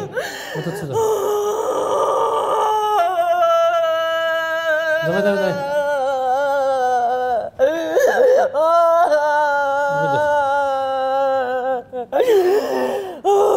Вот так. Еще. Еще. Выдох. Еще глубже. Еще глубже. Выдох. Вот все. Вдох. Вдох глубже. Еще глубже. Замерла прям.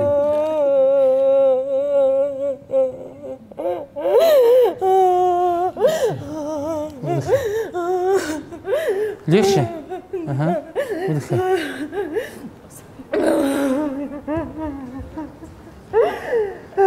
Потихоньку выплакивай. Мгм.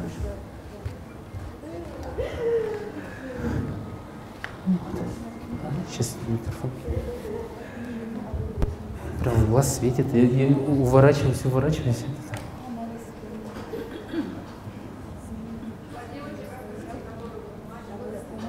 Про девочек, которых мать, они становятся такими же, как мамы и все. Они точно такие же станут, один в один. Такие же сильные, независимые, мужиков, муж- мужиков будут долбить и ненавидеть всю жизнь. Всем привет. Сейчас, секунду. Мгм. Меня зовут Аида. А, Я уже как три года ровно а, воспитываю сама троих мальчиков, 13, 9 и 7 лет. И вопрос, вот э, я научилась отпускать, я научилась жить своей жизнью для себя, э, позволять им быть самостоятельными, но не получится ли так, что мне вначале мама еще говорила, типа, вот папы рядом нет, теперь и тебя нету рядом, то и на работе, то еще где-то, типа, они сами себе предоставлены, и завтра не получится ли так, что где-то там не доглядела, где-то там, ну, ну, то есть моя задача, я прихожу домой, я, я только обнимаю, я просто целую, говорю, я тебя люблю, мы там полчаса пообнимаемся и все, я, я Этого хватит. ничего не делаю. Этого достаточно. Полчаса пообниматься это достаточно. Многие этого годами не делают. Живут в одной квартире, годами не, не обнимают друг друга. То есть я про то, что про мужское, ну как бы воспитание, что ли. Если есть брат, пусть займется, если есть отец, то пусть зай- займется. Они редко очень. Не надо много. Вот смотри, там где-то с 12 до, короче, с 9 до 15 лет нужен отец, да, и А, вот когда будут к этому периоду подходить, ты, он должен найти какого-то этого, как наставника, в виде там твоего брата, там папы, в виде э, дедушки, в виде тренера даже, может быть тренер это быть. Вот в виде любого, если ты сама не найдешь ему, он найдет на улице какого-нибудь авторитета и будет там за ним ходить. То есть он будет ну, воспитан вообще другими людьми. Поэтому просто найди авторитета вовремя ему. Я с детьми работаю, но очень часто это, знаешь, этот, если они подростки, то лучше не надо. Они, а, да, да. Короче, подростки, я, это пока не, не мой случай, потому что у них идет жесткое отрицание всего. И они считают, что ты идиот, ну, ну сразу. То есть ты когда ему объясняешь, что ты прожил дольше, знаешь больше, поливать он хотел на весь твой этот, э, весь твой авторитет, но можно, если контактный, можно, да. Смотря для чего еще. А так, в принципе, детей можно. А вон туда. Всем здравствуйте, у меня вот такой вот вопрос. Вы говорили, что с отцом нужно проработать, ну, 40 дней ему говорить «я тебя люблю», да? А что если вот с матерью? То есть, если, допустим, мать была учителем, была строгой, требовательной, била, и то есть, чтобы ее вот эту модель поведения, то есть воспитания, да, не отражать на своих детей. Потому что иногда бывает, э, вот живешь, живешь, да, то есть, и потом через время ты думаешь, блин, вот это все делала мама когда-то, то есть, и я, получается, отражаю вот это все ее мышление, поведение, воспитание на своих детях, и я понимаю, что это неправильно, но это как-то систематич, систематично выходит, а через время ты понимаешь, что ты копируешь полностью маму, которую не хочешь. Это самая плохая новость для вас. Сейчас, сейчас, смотрите. А, особенно для женщин, ну и для мужчин, ты будешь точно такая же, как твоя мама. Что? Я вроде подготавливал, сейчас подожди. Сейчас, сейчас, подождите. Ты будешь точно такая же, как твоя мама. А, почему? Потому что воспитывать детей задача вообще бессмысленная. А, Для девочки со стороны папы нужна просто любовь. Да? И социально ты будешь точно такая же, как мама. То есть то, как ведет себя, как ведет себя, как работает мама, как она себя ведет с мужем, ну, с папой твоим, да, ты будешь вести себя точно так же, как она. Для мальчика э, очень важна мама, как вот эта безусловная любовь, да, и чем мама больше любит сына, тем выше его самооценка.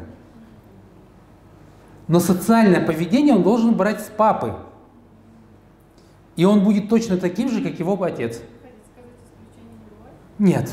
Но, смотрите, у нас очень жестко, у, у мальчиков есть отрицание отца, всегда практически, да, то есть он не такой, он недостаточно успешный, не такой жесткий, ну, короче. А у девочек есть отрицание матери сильное. И как бы ты ни отрицала маму, ты будешь точно такой же, как и мама. Как бы ты ни отрицал папу, ты будешь точно таким же, как твой отец. Но ты можешь быть лучшим проявлением своего отца в этом мире. Еще раз. Ты все равно будешь точно такая же или таким же. Но поведение, смотри, если нету, не, не было рядом папы, да, или там нету, кого там не было? А если нету отца, мальчик у мальчика, если нету отца, он будет... Смотри, помнишь, я же говорил, мать предиктор. Да, то есть мать, она будет э, как бы, э, да, два в одном. Это безусловно, условная любовь со стороны матери будет идти. И мамино слово будет главным в семье, да, и мальчик тогда, э, он будет периодически истерить, да. Видели истеричных мужчин? Вот они, у них, блядь, истерика сразу. Ну, это вот оттуда, это от мамы, скорее всего. Это вот, ну, это вот 80% это оттуда. И женщины, видели такие они? Это от папы, блядь, точно. Он хотел мальчика. Вот это. А? Вот-вот. Он хотел мальчика, родилась ты, и он тебя воспитывал как пацана. И с собой на рыбалку, на охоту пойдем в баню, не запускали. Там, э, девочку не знаю. А, нельзя? Да, ну ладно, постоим там. То есть это же... Э, Смотрите, у всех у нас есть свои деформации и перекосы. У каждого. У меня тоже, да, ну, у меня перекосы, ну, точно я вам говорю, у меня очень страшные перекосы были с деньгами. Я так понимаю, у меня с отцом были отношения, ну, такие, потому что меня воспитывал, если честно, дед. Да, то есть, ну, мы жили в одном доме, но воспитанием занимался дед. И дед проявлялся для меня как единственный мужчина, ну, с которым нельзя было спорить. И я всегда, когда он меня надо мной издевался, мне казалось, ну, я сейчас думаю, что это было ну, какое-то такое нечеловеческое. И я всегда думал, почему папа не защищает да, от деда? А, а папа не мог деду сказать, потому что это его отец. И все. И круг замкнулся. И на самом деле я, я очень сильно благодарен деду, потому что он привил мне дисциплину, он мне привил характер, это я сегодня понимаю. И точно он мне сказал, что если хочешь что-то узнать, иди учись. То есть те вещи, которые, ну вот, э, базовые, да. И он мне говорил, мужчина должен плавать, он мне на плавание. Мужчина должен уметь на, коньках кататься, потому что как ты в хоккей играть будешь? Когда всю жизнь в хоккей мечтал просто.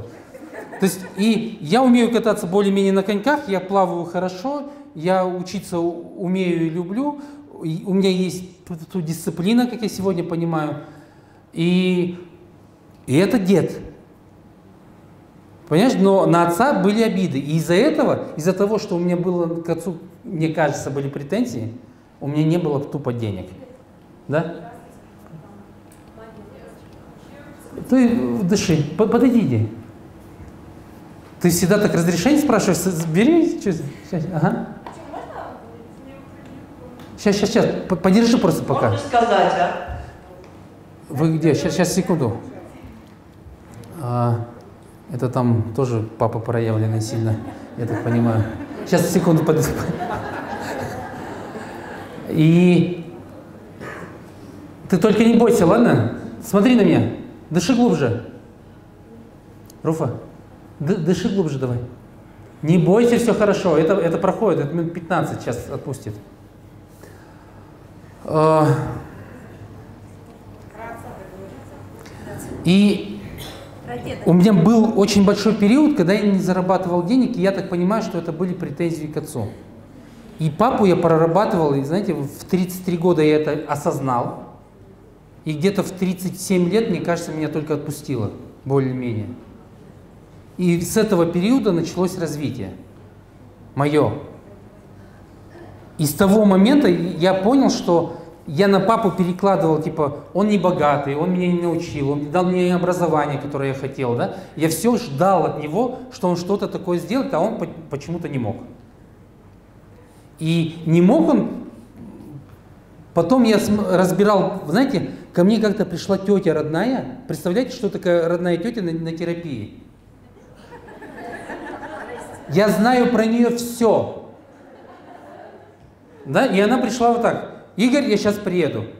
Я говорю, во-первых, я только прилетел, я, как бы, и я в Алмате, вы в Талдыкургане. Я приеду. И она приехала через три часа. У меня было ощущение, как будто я был у психотерапевта пять часов. Пока я с ней поработал, я вспомнил бабушку, мы вспомнили деда, мы вспомнили папу. И я только тогда я понял отца, что папа у меня, я не всю жизнь, знаете, я приехал в Алмату, и в Алмате я очень сильно завидовал людям, которые городские. Да? То, что они сразу живут с родителями в хорошем городе.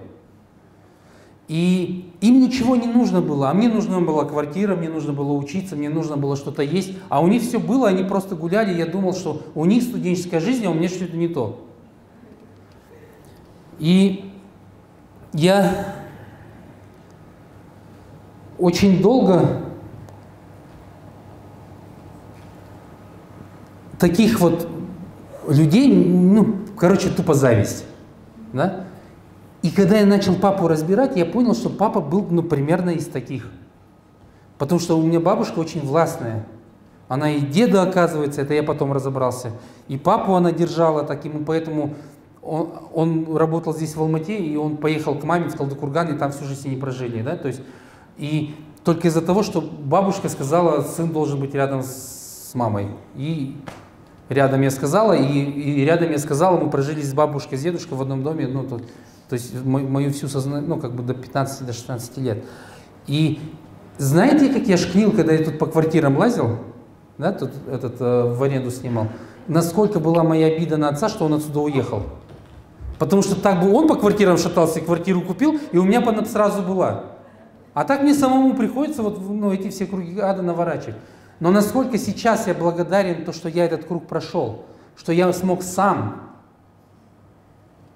И, и когда я смог сам, и моя реализация дала благодарность, вот, ну вот я как бы благодарен отцу за то, что он, ну, за все то, что как получилось.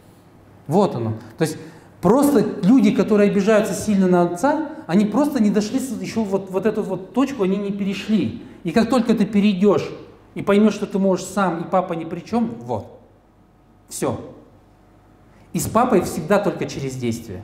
Вы не думайте, что вы там попрощали, там пописали прощалки, там помедитировали. О. Папа всегда заслуги. Папа всегда за что-то. Лежа не получится. С мамой можно. Ну, с мамой проще, что. Мама, я тебя люблю, она, я тебя тоже люблю. Мама ждет. Папа ему этот. Говори там с папой у кого-то проявленным. А, у меня вот такая ситуация.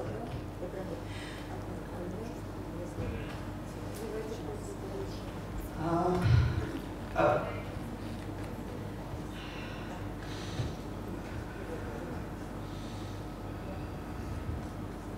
я родила сына. Говори, говори.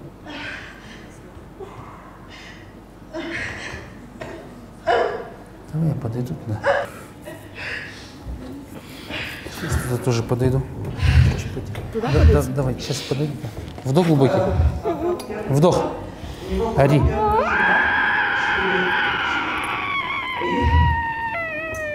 Вдох.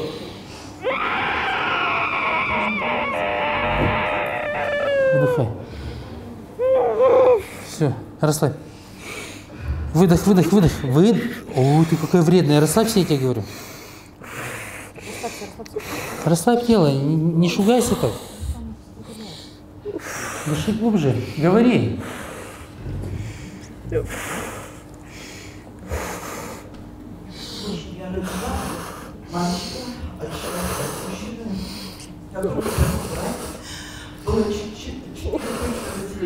Три мальчика, один скончались.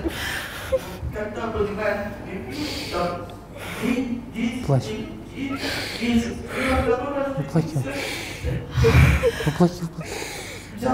Своего близкого друга. Она не могла 10 лет родить от него, но была дочка.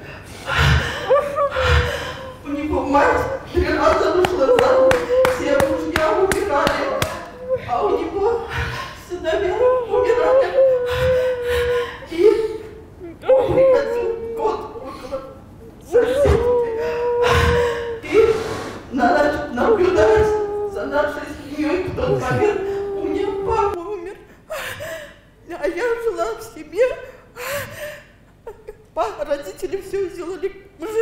Сказке. У папы было восемь братьев, и каждый было много детей. Он всех их на ноги поставил. А для нас он говорил маме, они еще маленькие.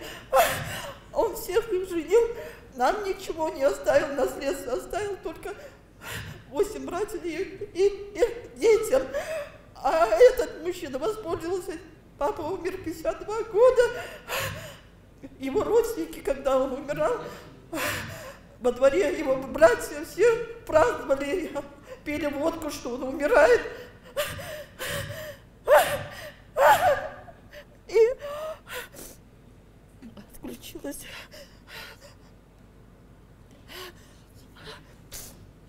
Когда папа умер, этот мужчина начал наблюдать, и как бы у нас такой, в городе есть такой, он как бы Подожди, убирай микрофон и калашматить тоже все. Дай.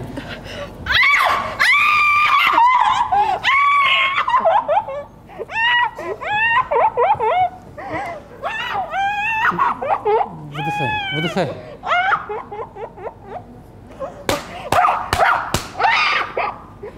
Выдох. Выдох. Легче? Не, не очень. Я не до конца сказала. Да что, ёпта. Выдох. Кричите. Уплакивай.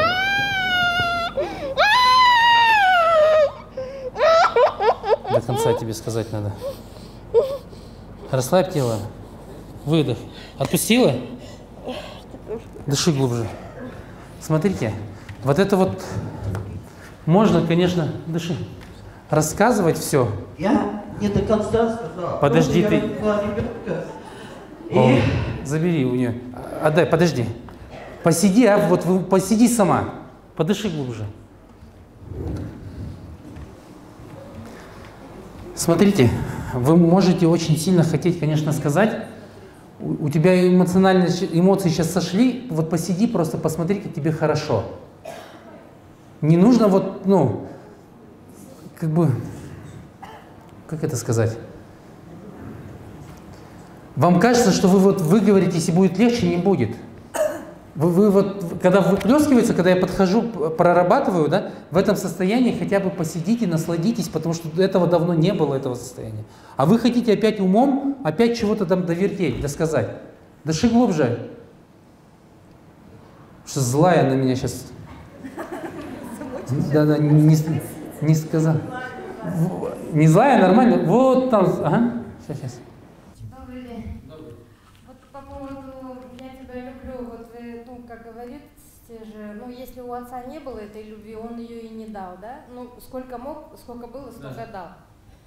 Вот сейчас э, у меня уже папы нету, много лет уже, но я, я думала, что я с ним проработала, но вот у меня, у меня сейчас вообще привел к вам материальный вопрос. Я как бы пытаюсь вот из этой ямы, в какую попала, там кредиты, бизнес сгорел и так далее, и так далее.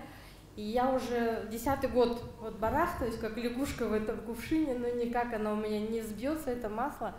И у меня, знаете, какой-то перекос пошел. Э, Я стала во всем винить маму, что вот папа там э, пил э, там, и так далее, да. И у меня сейчас к маме такая лютая ненависть, и, и что вот вроде бы 75 лет человеку уже вроде бы мне ну, молиться на нее последние годы, чтобы там в любви пребывать, да. Но у меня не получается. Я вот прям иду с целью, хочу сказать ей, мама, я тебя люблю, у меня прям вот как будто вот так вот горло перехватывает. И не могу, вот как это вот наполнение любовью. Смотри, вот это нужно просто шагнуть и сказать. Я Ты- пробовала, и- Ты не пробуй, ты, ты делай. Смотрите, всегда, когда я пробую, постараюсь, этот человек нифига не делает. Вы не верьте им никогда таким. Когда он говорит, я пытался, я пробовал, короче, это лапша это. Смотрите, вот с этой любовью, да, когда ты говоришь маме, я тебя люблю, или папе, но внутри я тебя ненавижу, как будто, да? Э, Да, да, это, это знаешь, это, это как с оргазмом, да, сначала имитируем, а потом получается. То же самое, ты, то есть ты сначала говоришь, говоришь, говоришь, а потом она начинает идти. Но когда ты говоришь, я ничего не чувствую, я его ненавижу, ты просто больше э, как бы развиваешь вот это бесчувствие и ненависть к человеку.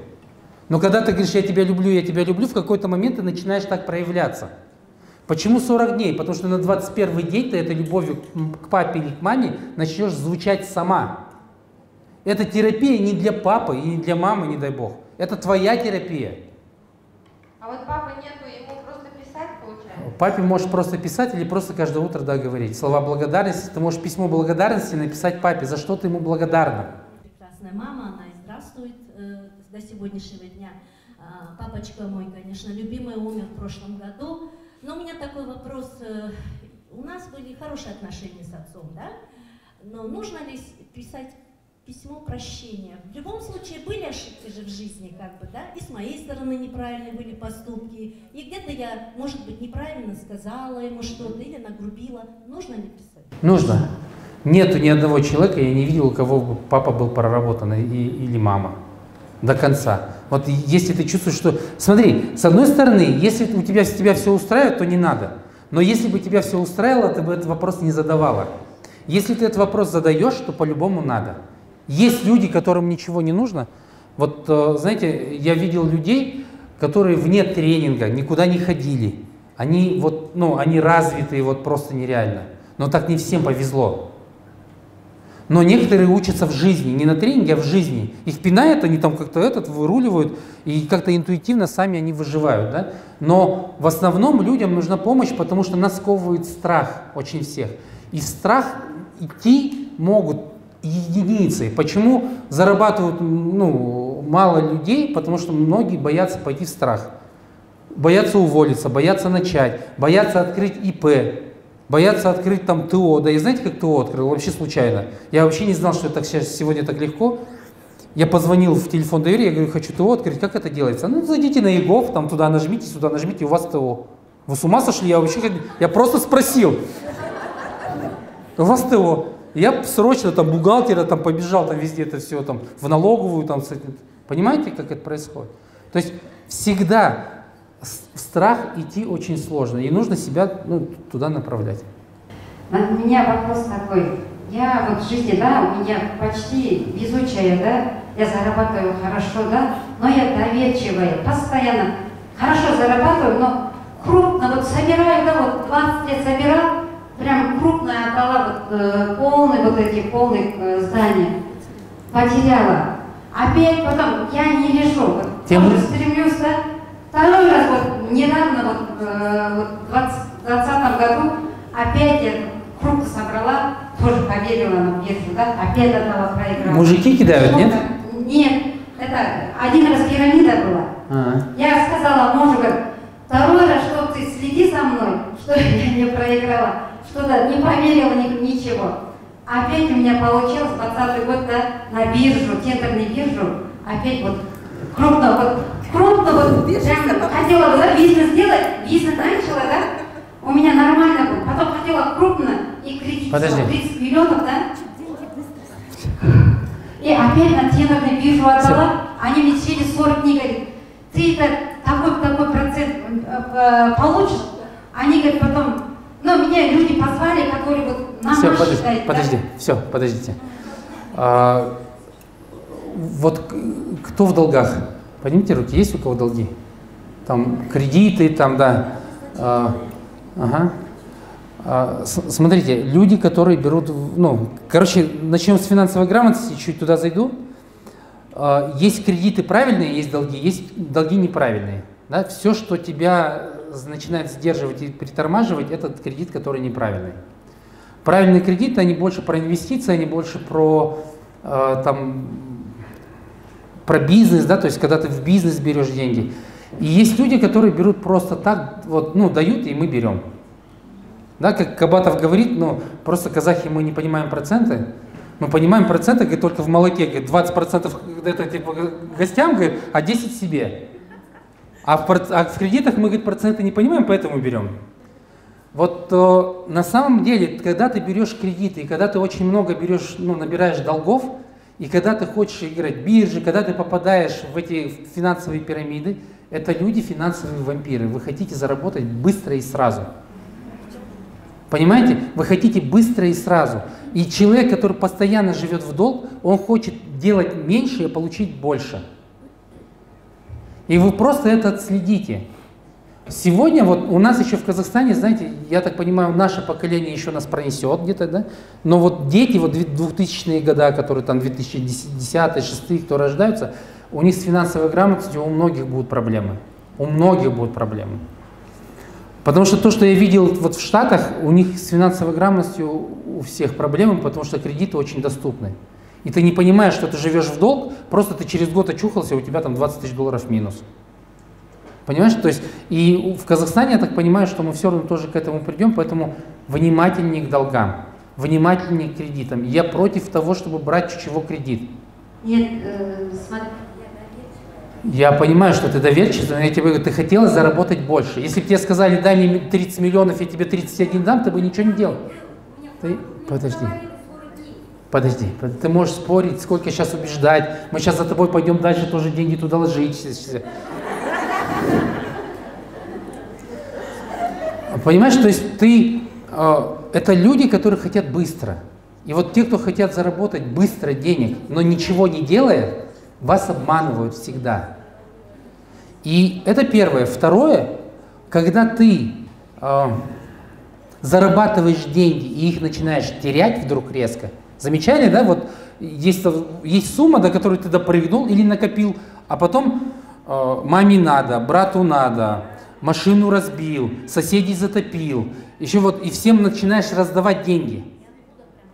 Да, это расходы вот просто это тогда, когда у человека стресс от денег. И когда у тебя стресс от денег, ты начинаешь от них избавляться просто. Понимаешь?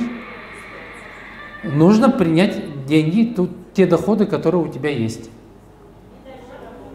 Смотрите, вот сейчас, сейчас, подожди. Вот заработать деньги кажется сложно, да? Но сложнее их удержать и сложнее их принять. Вот заработать легко, удержать и принять, вот где сложность самая.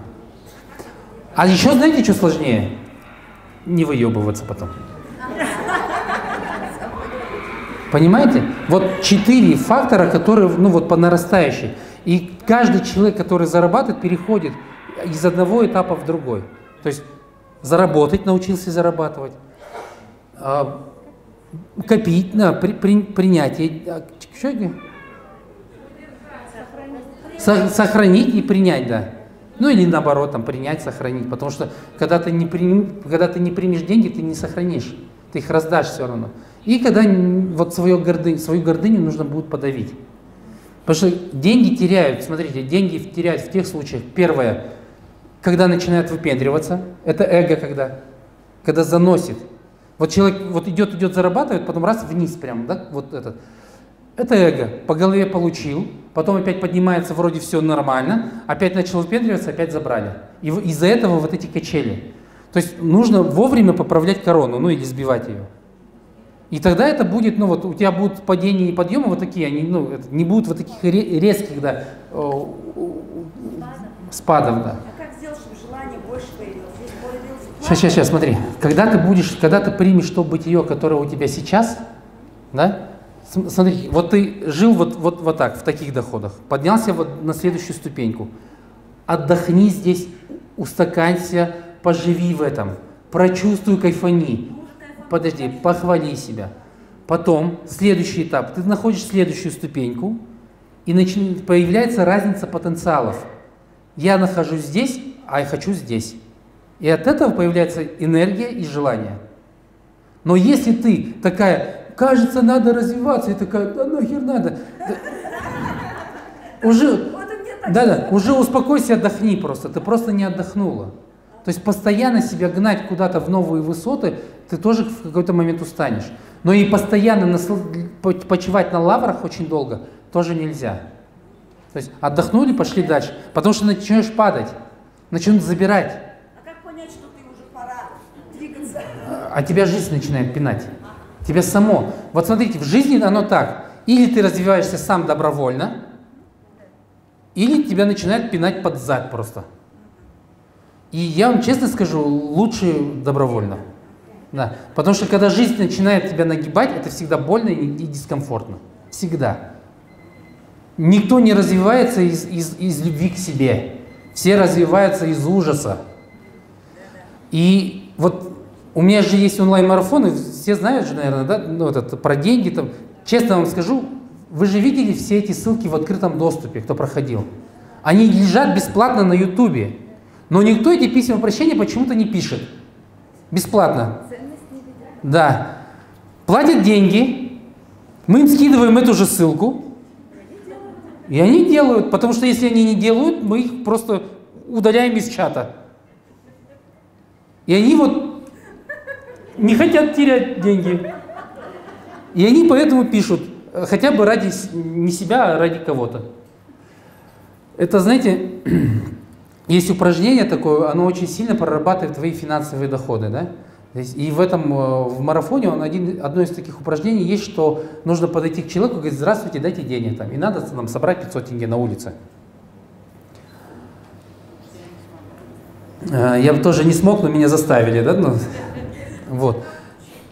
Ты подходишь к людям на улице, говоришь, здравствуйте, дайте денег, и тебе говорят, пошла нахер, ты, ты спасибо, пошла к другому. Говоришь, дай, дай денег, тебе, иди сам заработай, и хорошо, я пошел. И, то есть, и ты ходишь и как бы переламываешь. В этом упражнении отрабатывается эго, В этом упражнении отрабатывается то, что ты учишься просить. В этом упражнении отрабатывается, сдвигается твой финансовый вообще поток. И в этом упражнении вскрываются все твои установки, связанные с деньгами. Все, что тебе говорят люди, это твои установки в голове. Почему? Потому что это то, что считывают они с твоего поля. Нет.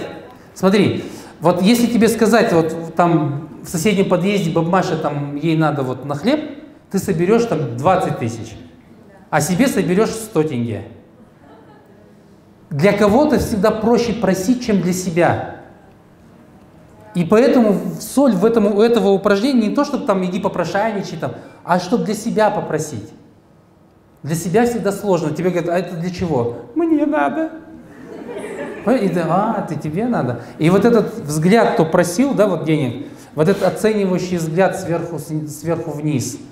Когда ты говоришь человеку, дай денег, и он так, тебе зачем? Вот.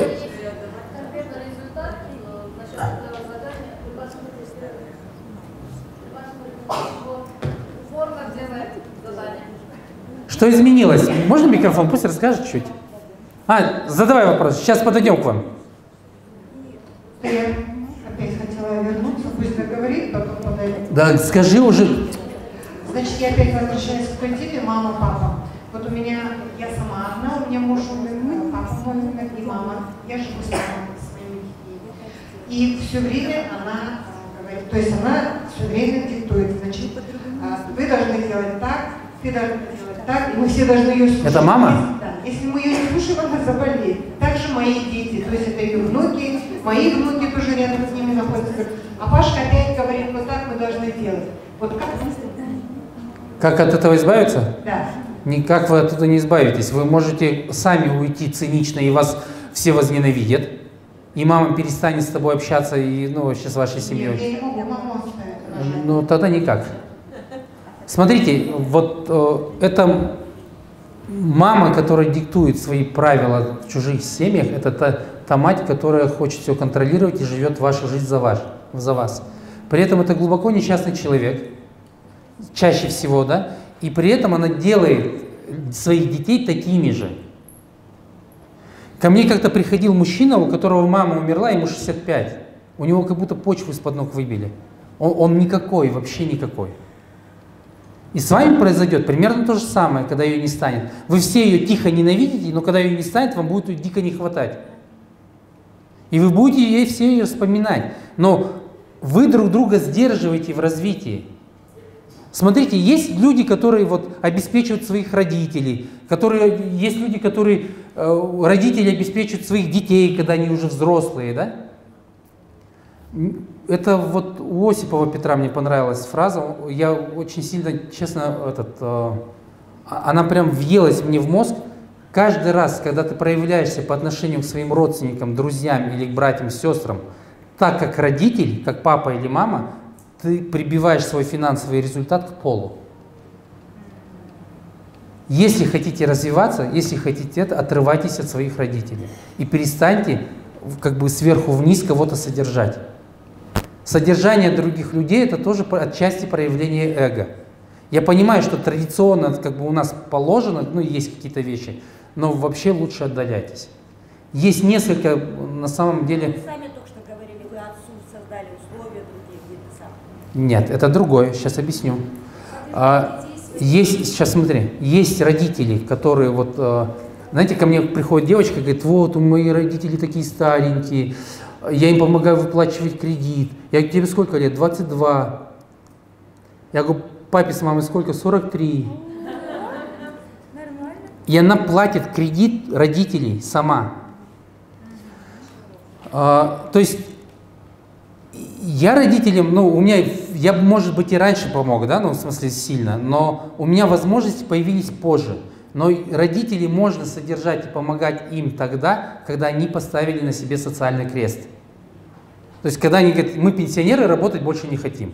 Но явно на пенсию они не выживут. И ты даешь им столько, чтобы жить более-менее нормально. Не, мое личное наблюдение, нельзя давать больше, чем им надо. Знаете почему? Вы начнете помогать через маму своим родственникам. она начнет раздавать. Любой человек, который, по, по, которому попадают деньги больше, чем он может воспринять, он раздает. Понимаете? И, и, и, и все. И, но если ты раздаешь свои деньги, и ты не получаешь от этого удовольствия, твой внутренний ребенок говорит, зачем мне работать? Если мы все равно отдаем, я, мне мы ничего не покупаем. Для чего? И оттуда хроническая усталость, оттуда нет целей, оттуда зачем мне это надо, оттуда э, просто лень, оттуда же я не умею мечтать. То есть, ну вот, потому что для чего? Все равно ничего не сбудется. Сколько бы я ни прилагал усилий, ничего мы все равно мне не покупаем. А, Мое глубокое убеждение того, что вот нищету из себя нужно выдавливать, да, потому что мы очень долго не жили хорошо. И если честно, вот сейчас, наверное, такой период, когда мы стали жить немножко лучше, да, и всегда был голод, и мы всегда боролись за выживание. То война, то там еще что-то, то, ну вот, потом 90-е там развалилось, нам жрать нечего было, да, и это сейчас мы говорим об успехе. Это сегодня мы там пытаемся там ковырять родителей, там, что у меня там случилось. И когда приходят ко мне вот сейчас молодежь, которым там по 19, по 20 лет, я думаю, господи, какие у вас проблемы, блин. Он не может выбрать вуз, да? Ему оплачивают любой вуз в мире, и он не знает, где ему учиться. Я говорю, ну да, то есть и, и наши проблемы, они разные, и, и запросы разные, но и из-за того, что у нас вот эта нищета, она как бы въел, въелась в наше сознание, да, и эту нищету нужно потихоньку из себя выдавливать. И это очень тяжело. Это всегда очень сложно и кажется дорого. Потому что нужно привыкать, к хорошим вещам, нужно привыкать к хорошим путешествиям, нужно привыкать э, не считать там на кассе деньги, да? нужно, то есть ну, нужно привыкать к очень многим-многим вещам, к которым мы были не способны. И первое время это всегда гипертрофировано. Сначала это слишком вульгарно, вычурно, не модно, да и плевать. Просто вот, ну вот все, наелся, потом появится стиль, наймешь стилиста, там чего-то. Но вначале ты начинаешь себе просто то, что ты вот голодал, ты начинаешь себе, в себя это напихивать. Оттуда идут дорогие машины, оттуда идут дорогая одежда, оттуда идут дорогие там, я не знаю, аксессуары какие-то. Сначала нужно наесться. И вот это есть принятие. Те люди, кто, кто хочет свой финансовый потолок как-то чуть-чуть сдвинуть, да, я это очень часто объясняю, но это нужно самого человека всегда ковырять. То есть на что тебе жалко денег, что ты себе не позволял сам. Потому что очень, ты, ты, ты можешь себе позволять, там, допустим, дорогую одежду, но на нижнем белье ты можешь себе сэкономить. Допустим.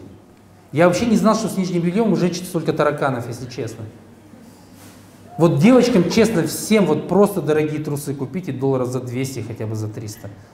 И, и, ну вот, и носите цинично. То есть это, ну вот, мы будем, то есть ты будешь потихоньку где-то привыкать, да, тебя будет, ну, а, как бы, как сказать, ты, ты будешь привыкать, да, вот себя немножко баловать. Вот смотрите, ты зарабатывал, допустим, вот здесь. Я не буду говорить цифры, потому что цифры у всех разные. Да? Ты зарабатывал вот тут. Хочу вот здесь. Да, там, допустим, в 10 раз больше. Ты должен из этого состояния вытащить вот отсюда какой-то артефакт и принести его сюда. Это то, что вот у тебя. У меня все устраивает, я нормально зарабатываю, но хотелось бы развиваться. И такая, ну, что делать, да? Ну, ну в принципе, зачем? Таким людям, если ты понимаешь, что ты уже стагнируешь уже там год, два, там, и ничего не происходит, ты берешь, идешь вот сюда вверх, находишь вещь, которая очень капец какая-то, ну, вот для тебя неприемлемая, у нее должна быть цена за гранью добра и зла. У тебя не должно оно в мозг просто поместиться. Ты покупаешь и приносишь ее вот сюда. И все твое бытие летит в тартары, потому что оно перестает тебя устраивать. Та ситуация, в которой ты сейчас оказываешься, тебя перестает устраивать, ты начинаешь стремиться сюда. Но если тебя все устраивает здесь, ты никогда отсюда не вылезешь. Никакого смысла не будет крутить педали, чтобы вылезти туда повыше. И каждый свой потолок останавливается, ну, как бы сам. И у каждого это потолок, вот, и если ты думаешь, что следующий потолок легче пробивать, каждый потолок пробивать ну, сложнее. Потому что категория цифр совершенно другая. Ты можешь заработать только ту сумму, которая у тебя есть в голове. Если этой суммы нет в голове, у тебя не будет ее в реале никогда. Ты должен их видеть и ощущать. Сегодня будет упражнение, когда мы будем вот это вот видение, там через 20 лет, то я такой, это очень популярное, этот, сегодня сделаем мы. Но ты должен увидеть эти деньги, ты должен увидеть этот быт, вы должны увидеть этого молодого человека, с которым вы хотите прожить весь всю жизнь. Вы должны его представлять. Вы должны эти деньги как хотя бы увидеть или почувствовать. И поэтому таким образом ты потихоньку приходишь к тому, что вот э, что, что тебе этого хочется, и я хочу, и я готов на это потратить еще там свои там сколько-то усилий и жизни. И тогда мы к этому растем. Некоторые люди, вот достигаторы, они фигачат. Да? Они зарабатывают, они еще, еще, им это знакомо, они это могут. Но достигаторам я бы рекомендовал обратить внимание на отношения с детьми, на отношения с мужем, потому что у вас там пробел. Те, кто там вот весь в эмпатии, весь в детях, обратите внимание на бизнес, у вас там проблемы большие. И люди, когда приходят, говорят, у меня вот проблемы в семье, я бы хотел быть более любящим, иди работай, уже хватит. Уже хватит. А люди, которые говорят, я хочу больше зарабатывать, им, скорее всего, нужно обратить внимание на семью просто. Обрати внимание на семью, у тебя здесь тоже. Потому что оно одно за другим оно вытягивает. Как только ты начнешь прокачивать область семьи, у тебя появятся тоже пойдут деньги, если у тебя там пробел. Если у тебя проблемы в деньгах, начни прокачивать деньги, и у тебя в семье начнутся лучшие отношения, чем были до этого. С женщиной точно. То есть, когда ты не зарабатываешь, у тебя плохие отношения с женой, когда ты зарабатываешь, у тебя хорошие. Так всегда было, и мне кажется, это всегда будет. Потому что основная функция мужчины, как бы безопасность финансовая, такая, физическая, любая. Перестаньте им помогать. Это, знаете, вот мем, не мем, ходил, ходило видео по, в Ютубе, в Фейсбуке было, где медведица учила медвежонка карабкаться, помните? И он уже почти дорос, она его туп, он вниз. Потом он опять ползет, ползет, а на его опять туда. Вот так. Нужно просто бросить. Да, и вот, тянется. Ага. Чуть. Говори. Сейчас, сейчас. Не имеет правая рука? Ничего страшного, дыши глубже. Смотрите, у кого не имеет правая рука, давайте я чуть-чуть расскажу психосоматик, вот то, что сейчас происходит с некоторыми. Правая сторона – это то, что связано с мужчинами и с проявлением в социуме. Рука – это не, я не принимаю то, что я делаю с мужчинами. Это ты за их счет самоутверждаешься, поэтому она болит. Спите, это энергия, это, ну, наполняйтесь. Здесь очень много энергии сейчас, и, в общем, берите. Если хотите спать, спите, ничего страшного нету. Сейчас мы дойдем. А, левая сторона – это все, что связано с, с женщинами и с тобой, как с женщиной. Если ты мужчина, то просто с женщинами связано, твои взаимоотношения. Левая нога не хочу идти с женщиной, правая не хочу идти с мужчиной, левая рука не принимает то, что я делаю с женщинами, правая ну, с мужчиной. Все. И глаза это нежелание видеть, руки, не, ну, уши нежелание слышать, ну и так далее. Зубы это, это про поесть. Это ну, вот когда ты сомневаешься, что выживешь, оно, короче, в заработке, когда начинаешь сомневаться, начинает десна кровоточить, ну вот это. М? Пупок? Не, ты не матка, вообще подожди. Такая, вот отсюда, вот, вот, вот, так, да? Область живота вот здесь, это, э, это тогда этот человек живет на, за счет силы воли. У мужчин видели, бывает пресс, ну, прям живот такой вот, как это, твердый такой. Это, это тогда, когда я иду, я не хочу, я все равно иду. Это тогда, когда мне ну, не нравится, а мне надо. И вот мужчины, они через надо идут легче. Женщина через надо может тоже, но вам сложнее, у вас цена за это дороже. Потому что это не ваша основная функция. Матка – это там, где все ваши женские обиды на мужчин и на женщин все вместе, но в основном на мужчин там. И матка очень у многих, она, знаете, спазмирована, она не пульсирует.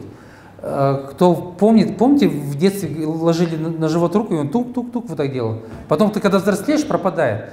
Это тогда, когда замыкается здесь, и вот это, это вот как бы энергия, которая вот жизни. И мы ее потихоньку с возрастом блокируем. На самом деле вот эта пульсация должна быть постоянно.